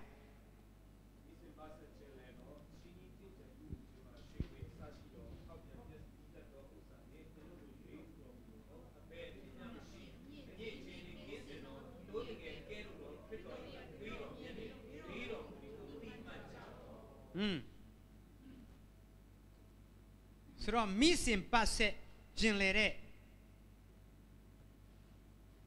အဲ့အရာတွေဆိုတော့ကျွန်တော်တန်ဖိုးထားတာသခင်ယေရှုကလေနော်ဒီ value နဲ့ပတ်သက်ပြီးတော့တန်ဖိုးထားခြင်း use value ရှိတယ် exchange value ရှိတယ် sentimental value use value ဆိုတာကအခုမျက်မှန်ကောက်တတ်တယ်အသုံးဝင်တယ် တိုက်ရိုက်ပဲကြားခံမလို့ဘူးရင်နှွေးရှိရကောက်တော့ယုံပဲချက်ချင်းသုံးလို့ရအဲ့ဒါ use value ချက်ချင်းသုံးလို့ရတယ်တန်ဖိုး exchange value ကြတော့ပတ်စံဟိုပစ္စည်းလိုချင်တဲ့ဒီပစ္စည်းလိုချင်တဲ့ကိုယ့်စီမှာမရှိဘူးအဲ့ဒါတွေအားလုံးကိုရဖို့ရန်အတွက်အချိန်မရွေးဝယ်လို့ရအောင်ပတ်စံကိုရှာထားရတယ်အဲ့ဒါ exchange value လို့ခေါ်တယ်ပြီးတော့လူတွေတန်ဖိုးထားတာတွေရှိတယ်အသုံးဝင်တဲ့အခါမှာကိုယ့်ကိုကူညီတဲ့အခါမှာတီးလူမရှိလို့မဖြစ်ဘူး ငါတို့မိသားစုထဲမှာ तू မရှိလို့မဖြစ်ဘူး तू တန်ဖိုးကြီးတယ်စိတ်ထဲကနေလေးစားတယ်နော်ပြီးတော့နောက်ဆုံးဘဝမှာတန်ဖိုးအကြီးဆုံးကတော့ sentimental value လို့ခေါ်တယ်အဲ့ဒါကငွေချင်းနဲ့ဈေးဖြတ်လို့မရဘူးမင်းငါကိုယူသေးရမယ်လို့တောင်းဆိုလို့မရဘူးအလိုလိုလေးစားတန်ဖိုးထားတဲ့စိတ်နှလုံးသားထဲကနေလာတဲ့စိတ်အဲ့ဒါကို sentimental value လို့ခေါ်တယ်အခုသခင်ယေရှုကကျွန်တော်တို့ကို ကြည်ပြီးသူ့ရဲ့နှလုံးသားထဲကနေကျွန်တော်တို့ကိုချစ်ချင်လို့ချစ်တယ်သခင်ရဲ့နှလုံးသားထဲကနေထွက်လာတဲ့ချစ်ချင်းမေတ္တာဘယ်သူမှစီတားလို့မရဘူးငါချစ်ချင်သောသူကိုငါချစ်မယ်ငါမုန်းချင်တဲ့သူကိုငါမုန်းမယ်ဒါငါရဲ့လွတ်လပ်ခွင့်ပဲဘုရားသခင်ကအဲ့တော့မုန်းချင်သောသူကိုမုန်းလို့ရနေတဲ့ဘုရားချစ်ချင်တဲ့သူကိုချစ်လို့ရတဲ့ဘုရားကသူ့နှလုံးသားထဲကထွက်လာတဲ့သူအယံတန်ဖိုးထားတဲ့ ဈေးဖြတ်လို့မရတဲ့ sentimental value ဖောက်ပြန်ပျက်စီးတတ်သောရွှေငွေအစရှိသောမိစင်ပတ်ဆက်ကျင်လေတဲ့အရာတွေနဲ့ငါတို့ရွေးဝယ်တာမဟုတ်ဘူးတဲ့တိုးတငယ်ကဲ့သို့သောအပြစ်နဲ့ကင်းစင်တဲ့ယေရှုခရစ်ရဲ့အသွေးတော်နဲ့ငါတို့ကိုရွေးဝယ်တယ်တံပိုးထဲမှာအမြင့်ဆုံးစံချိန်ချိုးတဲ့ sentimental value ဆိုတဲ့တံပိုးနဲ့ကျွန်တော်တို့ကိုရွေးဝယ်တာကျွန်တော်တို့ကိုပြန်ရဖို့အစွင်ပါမဆိုပေးမယ် အသက်ပေးရမယ်ရတယ်အသက်လည်းပေးမယ်ဘုရားနာမှာပုံကြည့်ပါစေနော်ဘလောက်မှတန်ဖိုးမရှိတော့ကိုယ့်ကိုထင်တယ်ဒါပေမဲ့သခင်ကကျွန်တော်တို့ကိုသူ့အသက်နဲ့ပါလှည့်ထားတယ်အဲ့ဒါကြောင့်သခင်နှလုံးသားတွေကထွက်လာတဲ့နှလုံးသွေးသခင်ရဲ့အသက်နဲ့အမျှတန်ဖိုးထားခြင်းခံရတဲ့ချစ်ချင်းမေတ္တာအသွေးတော်ကိုပြပြီးခမဲတော်ရှေ့မှာအသွေးကိုငါမြင်တဲ့အခါမှာငါကြည်အေးပြီးမယ်ခုနကိုခန္ဓာ အပြစ်နဲ့ပြည့်တဲ့ကိုခန္ဓာကိုတတ်ပြီးဖြစ်စည်းပလိုက်ပြီဆိုတဲ့အကြောင်းအသွေးနဲ့တက်တည်ထူတယ်အပြစ်နဲ့ကင်းစင်စွာ ရှင်ပြန်ထမြောက်တဲ့ကိုယ်ခန္ဓာအသစ်ထဲမှာကျွန်တော်တို့ကိုပြန်ပေါင်းထည့်တယ်ဘုရားသခင်ကကျွန်တော်အပြစ်မမြင်တော့အာမင်ဒါရှေဘရဲ့အခန်းကြီးရှစ်ပတ်ငယ်7နှစ်ထဲမှာငါသည်သူတို့လွန်ကျူးသောအပြစ်များကိုမအောက်မိပဲနေမည်တဲ့ဟာလေလုယာဘုရားသခင်ကကျွန်တော်တို့ကိုအပြစ်မတင်တော့ဘူး နေရောညပါအထံတော်မှာတိုးဝင်လို့ရတယ်ဘုရားနာမှာပုံကြည့်ပါစေအဲ့ဒါကြောင့်အသွေးတော်အာအရင်လတွေလည်းကျွန်တော်ဝင်ဟာပြီးသားဖြစ်တယ်ကျွန်တော်ကျေးဇူးပြုပြီးတော့အားလုံးအတူတူကမတ်တရက်ပြီးတော့ဘွဲတော်မင်္ဂလာဖက်ကိုကျွန်တော်သွားရအောင်နော်